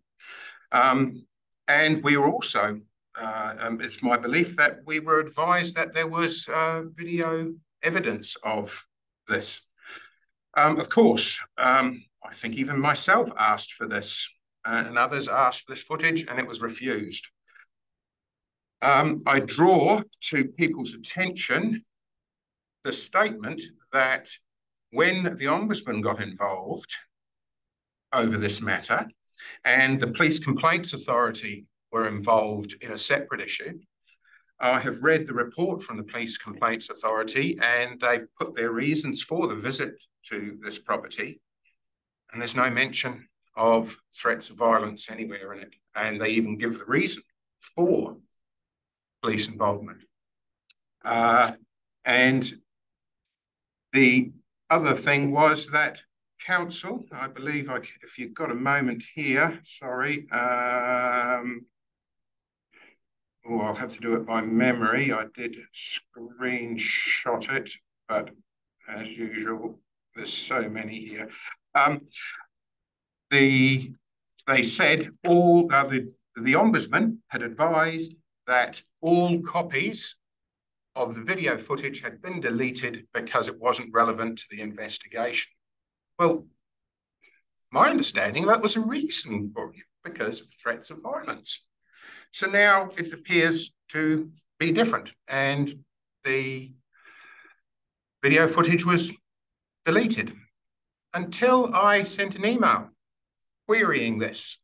The next morning, another release via the Ombudsman was TDC have continued looking and now have found from another drive evidence of it. And from my understanding, it does confirm that there was no threats of violence. This is quite serious. For us as board members, we need to have faith in what we are told by our local service provider is correct. Now, this is just the tip of the iceberg here. For myself, uh, I've lost all faith with this sort of thing. And these people are lovely people, but how do I know what's being told to me is correct? If four months later, six months later, I find that it, it's incorrect. Now, uh, I want to work with these people. I want to, um, but I'm, I've lost faith. Four years of this, and it's just not good enough. And I haven't gone about things the correct way, and but four years of this sort of thing, I, I like to think I've I've tried. So what do we do? Do we ignore these people and we just go, no, nah, we're not going to get involved? That I believe is wrong because we need to be a voice for our community. And whether or not the subject matter is police involvement over search warrants or the council spending, I don't know how many man hours simply trying to prove whether or not a single live alone woman is woman is living in a caravan or that sort of thing. It's we should question this. We should, but it's clear that my time for being able to question these actions is has come to an end. I, I, I can't question it anymore. It's it's pretty clear. I've been told in no uncertain terms. So um, what do I do? Resign and then come back fighting more than ever as a personal start up my own group. I don't know. But to ignore this is simply wrong in my opinion. It's not like there isn't basis. It's not like I'm wrong. Page. Pages and pages, everybody. I'll just get some um, clarification. Um, so there's a there's a couple of subjects you touched on, and I appreciate you bringing that to the table. Um, and it does relate back to Mr. Hellier's last time. So just get a bit of clarification from that because I believe um, Councillor Maru, it was there was number one, board to acknowledge works being done to remedy Peach Island. Yeah, the, the, Number two, request staff to review um, statements. And number three, request of apology, which is it Mr. Drummond? Um, said that they'd have to go through, find out, and that could be like find out if it was verbal or written on Mr. Manners, Mr. Manners, sorry. There was another step in there. So the what I asked was, was was half a solution for the board acknowledge to acknowledge that the work of the three people involved in that had actually benefited and good outcomes for the landowner. And that's and then there was that ask for an apology, and then it was said, please let's leave this for another month. So that's where it laid. Right. Um, so that's that's the one I thought we were talking about, but there's obviously other things that um board member Hughes brought up as well. So, okay, so that one there, do we know where we're at with that one? It was stopped. That was. So if you look, it was stopped. It was, there was a motion to say we don't want to discuss it anymore. And it was stopped Okay, by board member Hughes. so. But, but moving, so the, the, issue is here, it gets worse than this letter, you see, because here we have. See, Mr. Hellier has complained to LINZ about this, and they were, and they were quite. Quite concerned. So of course, they contacted the Tasman District Council, and Tasman District Council. Have sent them what appears to be according to this, and I word it very carefully here because no doubt I'll be facing some questioning. The email I have here suggests incorrect information has been given to LINZ. Now, I spoke before that it appears that incorrect information has been given to the Ombudsman. And of course, that can be explained. No doubt the spin doctors will come up with something, but I could just ask a question, so I'm, I'm a little bit confused where this has gone because I thought, so. this is, um, I'm trying to join. I thought we were joining and we were going to put to rest um, uh, a question and a request from a public forum person that spoke last meeting when I remember I missed it, so I had to watch it, watch the video. I, thought that's what we were talking about, but we're talking about a lot of things now. And in that case, what does the board, if anything, want to do with that? And then maybe address the other things. But um, there's been other letters from Mr. Hellier since, and it was really clear that I, I'm I'm not sure that we should have stopped that discussion last May because we had a we had the board decide not to discuss it, but you'd had a public forum earlier asking for something. So that's what I thought we were going to put to rest. But um, uh, yeah, in your head. So, uh, um, just a point of clarification is that after public forum and when we got to this part of our meeting last month, Steve Manners agreed that there was a process to go through, which I asked. And we were partway through that conversation when it was tabled that the work at Peach Island was still underway and it was super sensitive for the owners. Um, and it was to be deferred to this month. I would like, and I don't know if Mr. Kirby's in the position to do that, but I think we need to re-engage with what Mr. Manners said was the process to acknowledge what Mr. Hellier brought to public forum. Not dismissing the rest of what um board member Hughes has now shared, but I want to go back to what I brought up with the minutes for last month that we paused that and we need to re-pick that up tonight and come up with a plan to move forward to acknowledge public forum from November's. And I know that um board member Armstrong had put that in an email. Yes, yeah. So I can help Madam Chair for Mr. Kirby. So that I I think that's the process around um requesting a staff member apology in terms of uh, organisational one, and that's where from a board I asked whether um acknowledgement from the board would be enough.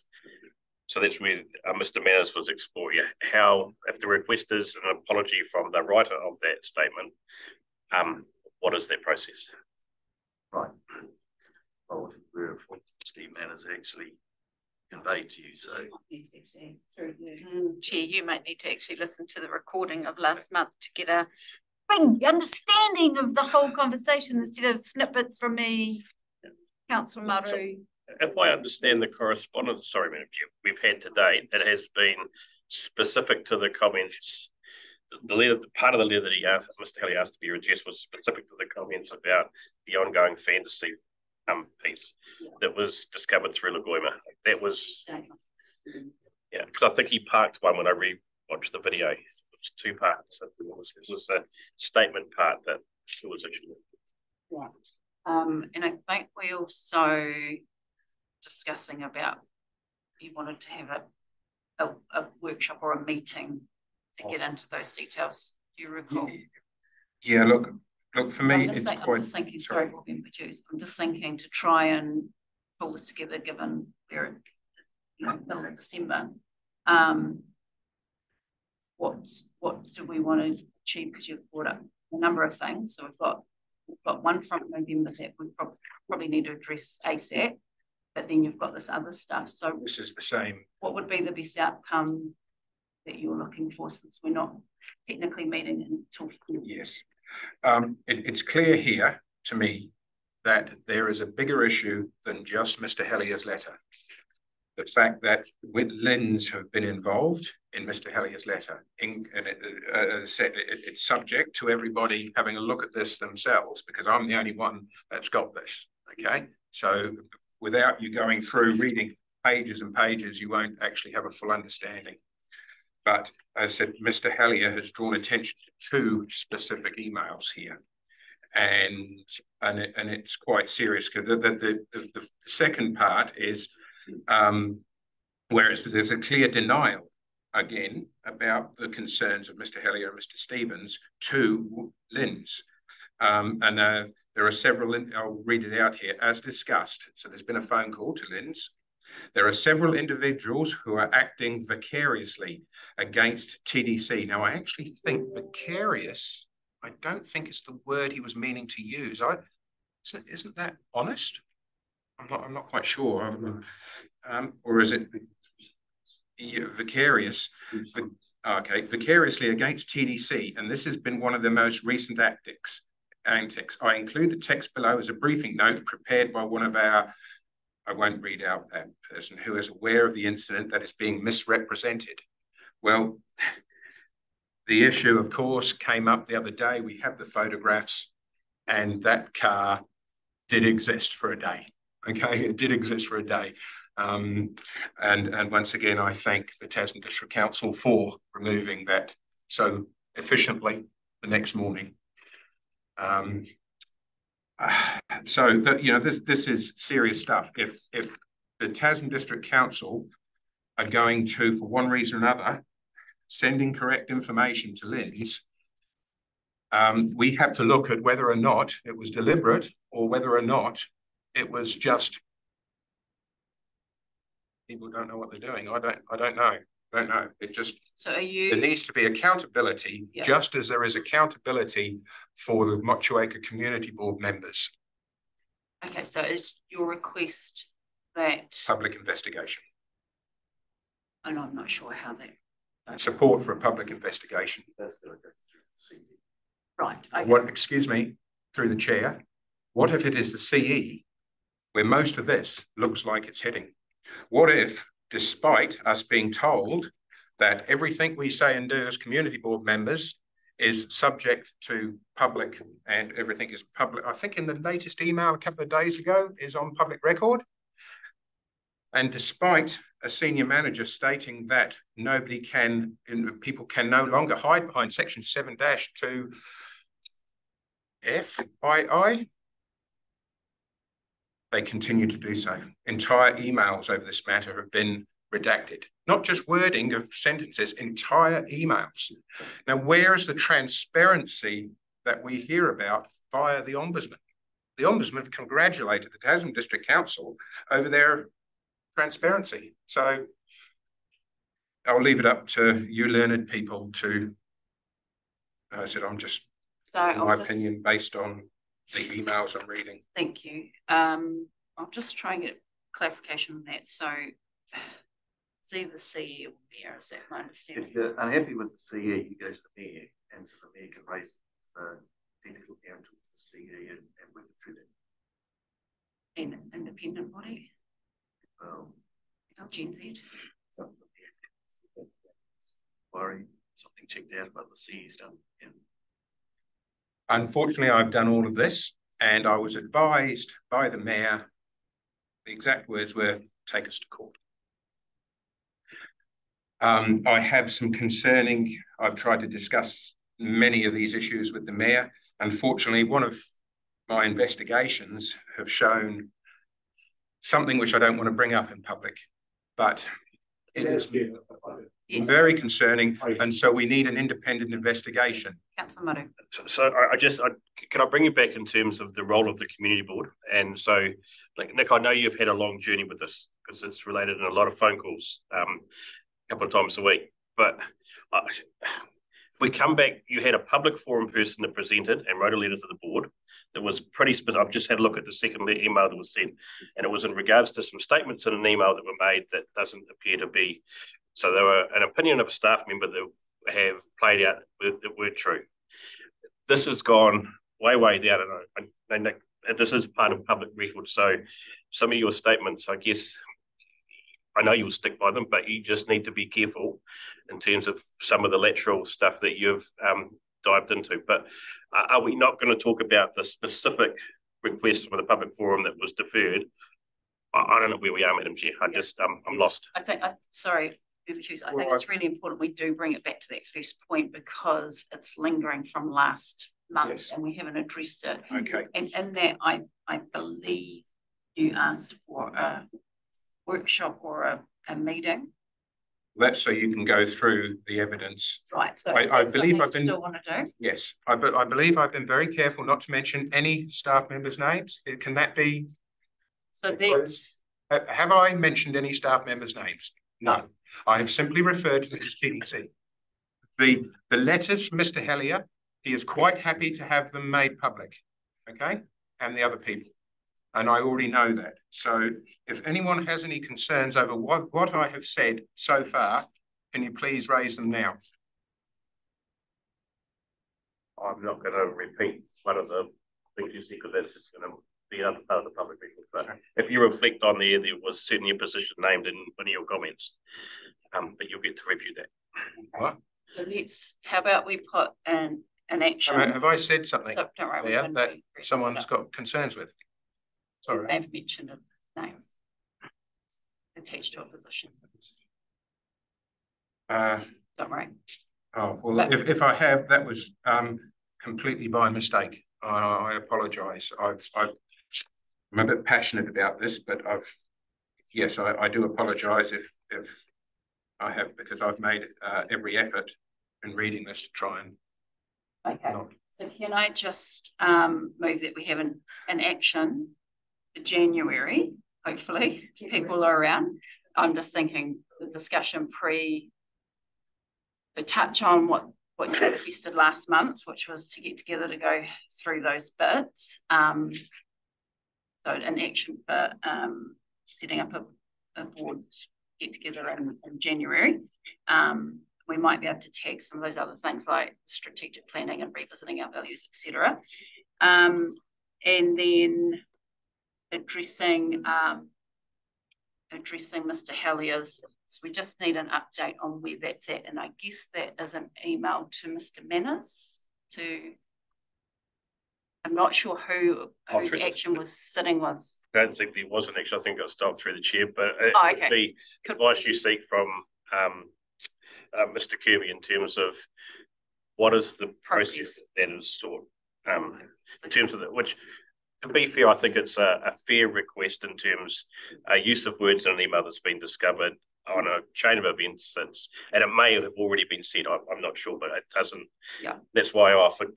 Does it does it have any substance from the board to acknowledge that we acknowledge that the that the many discoveries found by um, the people involved has led to some very positive outcomes for the landowners. Um, but uh, yeah, take maybe Mr. Kirby take some advice about how an organisational wide acknowledgement of those, so specifically the defamatory statements made in those emails. I've just had a look at the, you know. Yeah. Okay, thank you. May I finish with statement that, yes, I agree that there has been a very positive outcome here. But it has come at a great cost to a small group of people, including myself. Okay, the huge amount of time I've put into this and Ray and them with ongoing denials is it's, it's taken its toll, it's taken its toll. Yeah. And through the chair, I guess that's what I was trying to acknowledge last month. Yeah. Yeah, so um, and I hope that that could reset. It doesn't take away other issues, but in terms of resetting, hopefully on that part. So the, the positive part for any board member who has some success in anything supporting the community is the positive outcome for the landowner, which I believe is there. So that's that's so it might have hurt, might have been pain, and there may be others, but actually that's something to celebrate the positive. And then um, you can direct energy and efforts into where you can supporting other ones. But uh, at some point, you have to go. Actually, that works resulted in good outcome. Does that make sense? Uh, does. Um, okay, so we'll, we've got an action there and we'll move forward on that. So we'll just um, touch on some of the public forum um, So we've got, I think we already noted it about the, um, what can council do? As for cameras, I'm not sure if that's viable, but uh, the human feces, that's come up a couple of times over my tenure here. Um, people use that just out even here, urinating and that instead of using the public toilets. Um, I don't know what the answer is and I don't know what what we can do as a board. Any suggestions, advice? Oh, we've got hands over here, councillor Walker. Yeah, thank you, uh, through your chair. Um, problem with cameras is, what do you do with the footage? And how do you regulate or do any, uh, I mean, you might capture a person going into the bush, probably aren't going to have your camera set up exactly to catch exactly what they're doing in the bush. If you were to go in and find some evidence, we don't have the capacity to actually do anything with footage. And I assure you that the Motueka police don't have the capacity to do something about some footage. So as much as I hear and I grieve that that's the lady's experiment experience with said dog, um, I do not believe that the camera, sadly, is the answer because we don't have the capacity to follow through. Or, or the finances, unless she wants to pay so much more. Have an enforcement division. They seem, why, why don't we just to enforce the rules. I'm sure there's a public safety or public health rule that you can't defecate on a on a council owned. I'm saying it'll be it won't be a council bottle.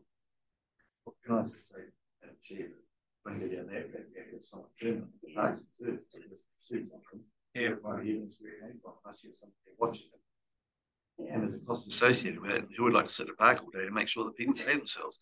So I think it's, it's a social thing. We've got to try and encourage people to use the bathrooms and the toilets and not use the bush. Yeah. So the interesting thing through the chair is, um, I'm not, I'm interested whether they reported who it was, because it sounds like they may have had some discussion. Um, so, so, and then yes, compliance, um, service request and So if it's seen, but if it's not seen, it's, yeah. And, and I think, um, I don't think people are a council thing doing that sort of behaviour. I think that's a police thing. Yeah. That's right. Yeah, I was just going to say that we're looking at putting uh, some security cameras in at Sports Park to try and mitigate what's been going on down there. And with the power supply and everything available, it's over two thousand dollars per camera. So if you want to go and stick a camera in a park of any great recording capability, you're faced with probably seven or eight grand by the time you get a power supply in and everything set up to whatever. And then it has very limited coverage. You know, you pick a person walking past or walking in the bush. So I'm sorry, but I just I think the camera thing has to go out. But I'm sorry, I now live on the state highway. and I think we're a dirty bastard community the amount of crap that I pick up off the side of the state highway each day when I go out for a walk of all sorts of stuff, not just KFC or, or McDonald's wrappers, it's bloody V cans, it's everything that people just. And I can't wait for this new government to turn around and say, if you've got a dash cam and you see someone throw some rubbish out, it's $10,000 fine. I can't wait. It's not far away, I think. Let's bring it on. So um, I guess the response to Isabel is the board don't support cameras um, in parts because of funding and resource, but um, the issue lies with the police. So court, yeah. send them here. Yeah, I think it's practical to have. I agree. We want, we want less surveillance. Are you sending correspondence back to Yes, Isabel? Thank yeah, so the sorry. correspondence back to Isabel will be that the board um do not feel that cameras are appropriate because of cost and resource. Uh, it's also not the council role to have enforcement walking around um for those matters, but it is a police matter of court and we'll add in the potential dash cam. Um, Is there, sorry, through the chair. Is there um, uh, sort of a location of where the, the bins are and the doggy do bags and things like that because um, maybe there is gaps like we were talking about by the golf course. If there was Harbour Road. Harbour Road, if there was uh, some locations where um, there is a gap, might encourage people to.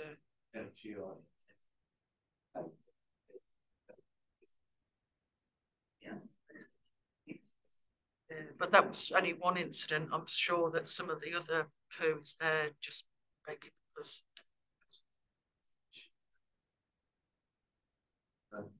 Oh, from Mr. Ball, yes. But I go back to my comment, if there are people in the community that just don't want to use it, it's another issue, yeah. Uh, okay, um, so Claire's gonna sell some calendars. Go back. Um, we had a presentation from Kevin, um, so I guess that's just more promoting what's happening with the solar, um, panels here locally. Um, Matthias, uh, I guess that's just noting there's nothing specifically brought can do. Has anyone's got anything else? Um, we certainly, I believe we certainly need to follow up on issues raised. uh, Including the, the other speaker. Hearing valid points. But. Come up with a uh, decision. Um, No, and, and exactly what, what will we be following up on? I guess just to make it really clear, Well, the issue was raised of, not getting the communication. oh, well, the, the what, the. Well, the unanswered questions is something I've brought up. Okay. Um, and that needs to be addressed. Uh, So that fits in with that, but also it, it appears that we were asked. That there has to be some monitoring of council activities, and I believe that is something that the community board should do.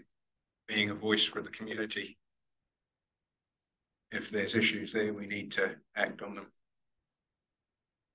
Yeah, well, we're in a position to advocate for the Yeah, community, that's so- our role, so. The main issue that I took was um, no response to a letter or phone call. So it's just that lack of follow up, acknowledgement and follow up. Yeah, and, and I guess the other point from that was when, um, Shaker had a response. He, he was told that, um, that they had given a response. But it wasn't probably, so I don't know, it's either we're not getting, uh. We're either getting a standard template response out to people without addressing the issues, I don't know. So I Right. guess it's more clear on our response. I have an example that, oh, sorry. Sorry. If you contact the council, twenty-two days or whatever it is Yeah. to get a response, isn't there? There is, there is a framework there, yeah. That's through you, that's the legal framework, it's twenty working days. We need to- We can't get the information back, we need to make contact to them, um, because it let them know why the information may not be the twenty twos, because there may not be a lot of research required. But the normal CSRs, the customer service requests that come through, we try and respond to them within two or three days at the most, um, at least acknowledge that we received the request. Uh, Hughes? I've recently copied you into some emails which I've asked questions of Legal and Democracy Services team. Um, I'm still waiting reply. Perhaps we can follow up with that. Oh, I've, I've received the written, now hit that, what I, sorry, what I was pointing out, we've received responses, but not actual answers. Now that is where, so the council are quite correct. They say we have responded, but it's when they haven't actually answered the question given. I think that's where it becomes an issue for a lot of people. Um, for myself, my own personal, uh, quite often, uh, I've heard the matter is closed. That's, that's not an answer, that's a response. Um, but anyway, there, that's my opinion. Okay, um, so maybe, yeah, that's, uh, what I'm hoping next year is to be able to get into council and, and have conversations with staff to understand their processes and how things work and get some clarity around that. So those sorts of things can come up. Um, Kristen Schaefer, guidance on speaking freely at public forum.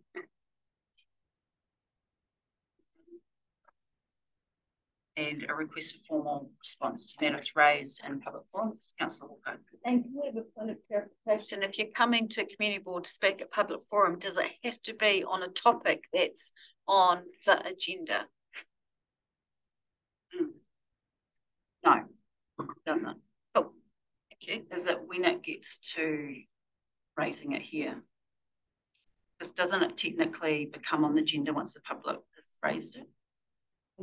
They're not usually included in the agenda for that month because they can register up to one day before the meeting and the agenda goes out right a week before. Mm. So um, usually um, there's toing and froing with people that want to register right up until the day before. Yeah. Chair, if you can get it off. So there's, there's a number of exclusions in terms of what you can't say in public forum. And I guess the, the key one's from memory, one's repetition. Um, but the key one that often comes up for the chair to use discretion is whether it's within the powers and the delegations of the community board to even address. So, but the the ultimate call comes down to the chair of saying yes or no. If it's within that, you'll get a some advice from um, Secretary through Democracy Services, and with the chair always having the discretion to make that call. But primarily, it will it will ask. So now you know this will be presented with this is there actually anything within the board's delegations that you can do to um about it, which is going to be the challenge. And sometimes I guess it's an opportunity just for it to get on record, even if we're not in a position to be able to do anything. It's it's a voice, a platform for our community to to stand up and speak. Through you, Madam Chair, the only other comments I can make is that if it is does relate to something that's on the agenda, you come to deal with that item of the agenda, you can actually take account of what's raised in public forum because it's part of that agenda. But if it's a completely new subject, all you can do is hear it. You can't make any decision because you've got to make a decision based on our office's report or a report that comes out with the agenda three three days before. Yeah. But we can create an action. You Can create, yeah, well, you can do, um, but it's not a, an action that uh, that's formal of the meeting. It's not a formal minute or, or a decision of the of the of the meeting. It's actually just something for, for further inquiry. Yeah. yeah. Yes, Councillor Dowler. I'm just going to say since 2002, when I first got on the board, public forum was normally used for people coming in to talk about what was on the agenda, coming and want a crossing improved or whatever, to try and get the board into their special projects or whatever, you know, away it went it's it's it's a changing world. It, it has changed quite a bit. I think a comment was made last week, confirmed with me, councillors. We the council got twenty four thousand emails in five days. Um, not just complaints, but thank yous, problems, etc., etc. You damn near need 10, 10 staff just sitting there answering the, the things or opening and, and then working out where they've got to go if, if whatever it's just getting huge with this electronic stuff. And the council just getting bogged down more and more. And it is slowing things up. I can tell you that now. I can see it myself. Um, and uh, yeah, I just, it'd be just really great to get the public forum back to where the public forum used to be. Like, hey, next year, in the not too distant future, I would say this room's going to be chocker again because we've got a dog bylaw that's about to happen. And we've got a cat bylaw and we've got a speed limit thing that I wish to say something about as well at some stage. Um, but yeah, those those two subjects on their own, I'd say, are going to create if people bother to look, and then just not come along later and say that we never consulted, because it's all there, it's out there right now. Dog bylaw, cat bylaw, speed limit, it's all there. What you got is look. So we're going to be have, have some interesting moments coming up. Um, and hopefully the community board get will get back to what the community board needs to do because at this stage I'm pretty disappointed over the last three or four years on what hasn't been done by the board because it's been taken over by other stuff. Sorry I have to say that, but it's fact. Thank you. Good point. Yes. Shut up now. Board Member Hughes. I was quite an attender of the community board. And uh, I was stunned. Ca- Come up one afternoon to find that the place was packed and the car park was packed. And it was to do with one issue with the dog, just one issue. So you are absolutely correct. When this stuff starts getting out there, um, which beggars the question, why are we messing with it? Just surely after decades and decades of people owning dogs, we've got to a reasonable space. What do we need to carry on and You just heard in the public forum that they're shitting on the footpaths and they're not picking it up. Yeah, but that's human and they've done it. No, no, no. Actually, he's talking about dogs as well. So there. Yeah. So we have to have a dog bylaw that's going to try and tidy that up. And if people don't like it, what do we do? Tell them to get rid of their dogs? Don't think so. Hmm. Oh, I, I, I know this is a hot potato, and that's why I was saying, well, here, real service request into the people that seem to have time. Board Member Hart. Uh, When, uh, when I spoke to the dog control people to get some information, it's literally the dog bylaws is, due for a review. It's to happen. Yeah. It has to Make happen. a choice. That's right, yeah, so it's a, it's a, it's a, it's a formality, but it gives people the opportunity to then put their thoughts. So much in review at the same time, at this time of year as well. It May not get the the buy-in, but I don't know, I think, I think, yeah, these three issues in particular. Yeah, be, yes. okay. I'm looking forward to putting all this rubbish behind and uh, and then getting people to bring their dogs and penguins down so we can have a decent discussion. So It's right, three at the moment and so are the seals because there's a couple of great whites flown there. They're having an awesome time. they need to, it's too many. Okay, so I'll just check what else in the chair's report. Oh, action list. Right, let's, let's fire through this, guys. Okay, so page thirty-four. Um. I've just written Deputy Chair Hutt working on the um Edward Farron Clark. Oh, yes. That's. Yeah. Um.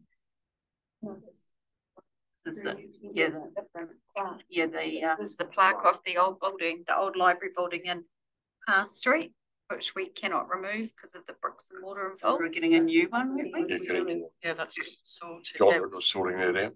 So he's, he's, uh, he's paid us, uh, extra than the, you know, the ten thousand but for the fifteen. So it's six hundred and sixty-six dollars for the one-off plaque, which has been designed and, and is in the printers at the moment. We can't get it off the old library, so there's gonna be a new plaque put here. Very good. So the old one just stay. So it's, it's been in production with the initial fifteen, so it'll be the same thing. same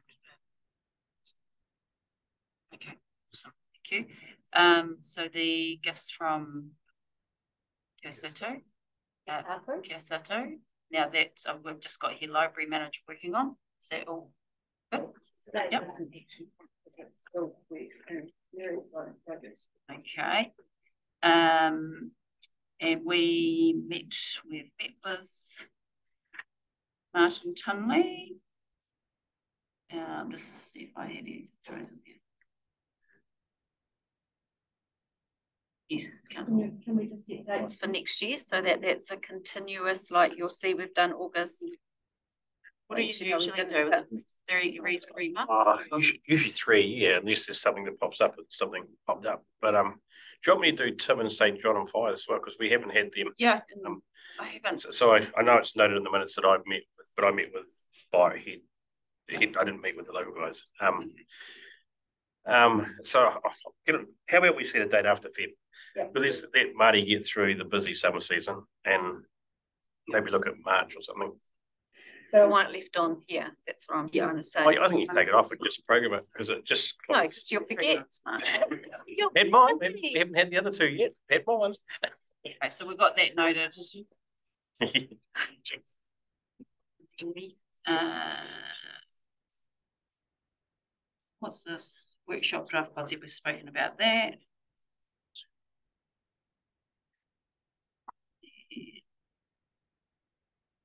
Oh. You've spoken about that too, councillor Maru too, around the standing orders council complaints process. Spoke about that earlier. We set, So through the chair, um, so I've talked with Elaine, um, it is Elaine. Um, so, so she'll link, link with you. So if you link with her and, um, Democracy Services, they're gonna bring in, um, I forgot his name, governance. Vern. Yes, Vern or Steve. So one of the two. Um, they'll bring in an external person to do that. Um, but you might want to build that around your other bits and pieces as well. yeah, Um, right. Okay, and, and we can close that final action because that that has been presented. Is there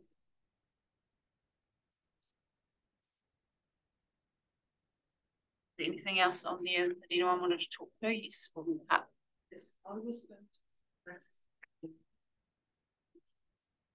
Caravan Association.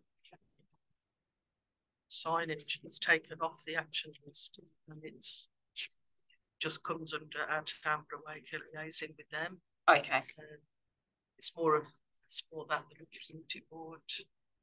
All right. It came up in conversation, but it's sort of fallen under that umbrella, so and I can always report that once it's done.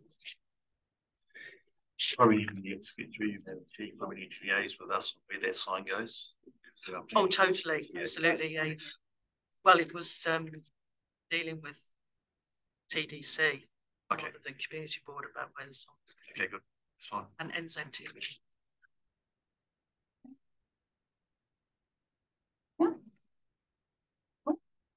All right. Correspondence. It's noted. No one wants to raise anything in there. Um. Next step, democracy service staff will undertake their service. Okay, so that, take that one offline. And then. Oh, so we've, we've already moved to the second today, so everyone. getting wildness. They're gone. Like they're moving, they're ready to move because it is quarter past six. Okay, so uh everyone accept the chair's report? Yes. Anyone against? No, carried. Okay. We, we're done? Oh, financial, sorry.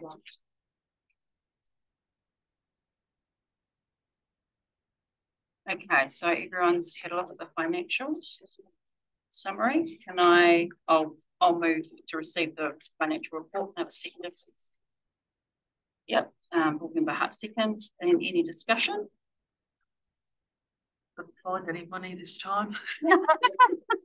Everything's looking in order.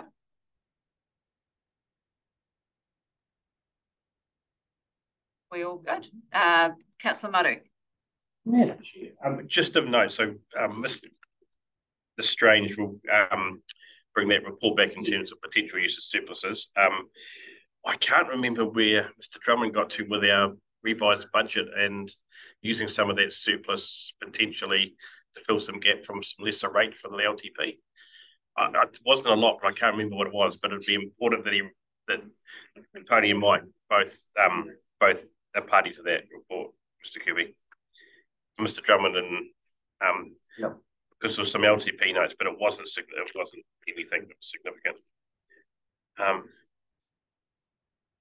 that's all I had in there, yeah. So You will have, um, councils will be able to give you some feedback once the consultation starts, so that you can submit if you want to on the, on the long-term plan. Yeah.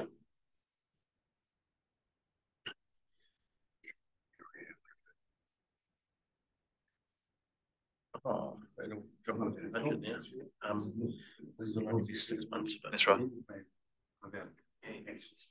Five tasks. Oh, okay, right, Can we want to? we have to, okay. Okay then, um. Yes, councillor Maru. Only, only thanks to councillor Dowler put it, and the other thing to note is there'll only be a six month payment of the litter card. But to be, so there'll be, Yeah. it'll be under budget as well, so there'll be Yeah. some savings. That's right, that was noted last month. Yeah. You don't have litter card now. No, so everyone's gonna pick their own stuff up. End of that Yeah. era. Step up the street cleaner, mate, be four times as much. Yeah. Budget. So we don't know who's gonna take home. No one knows. Everyone's just gonna have to pick their own rubbish up.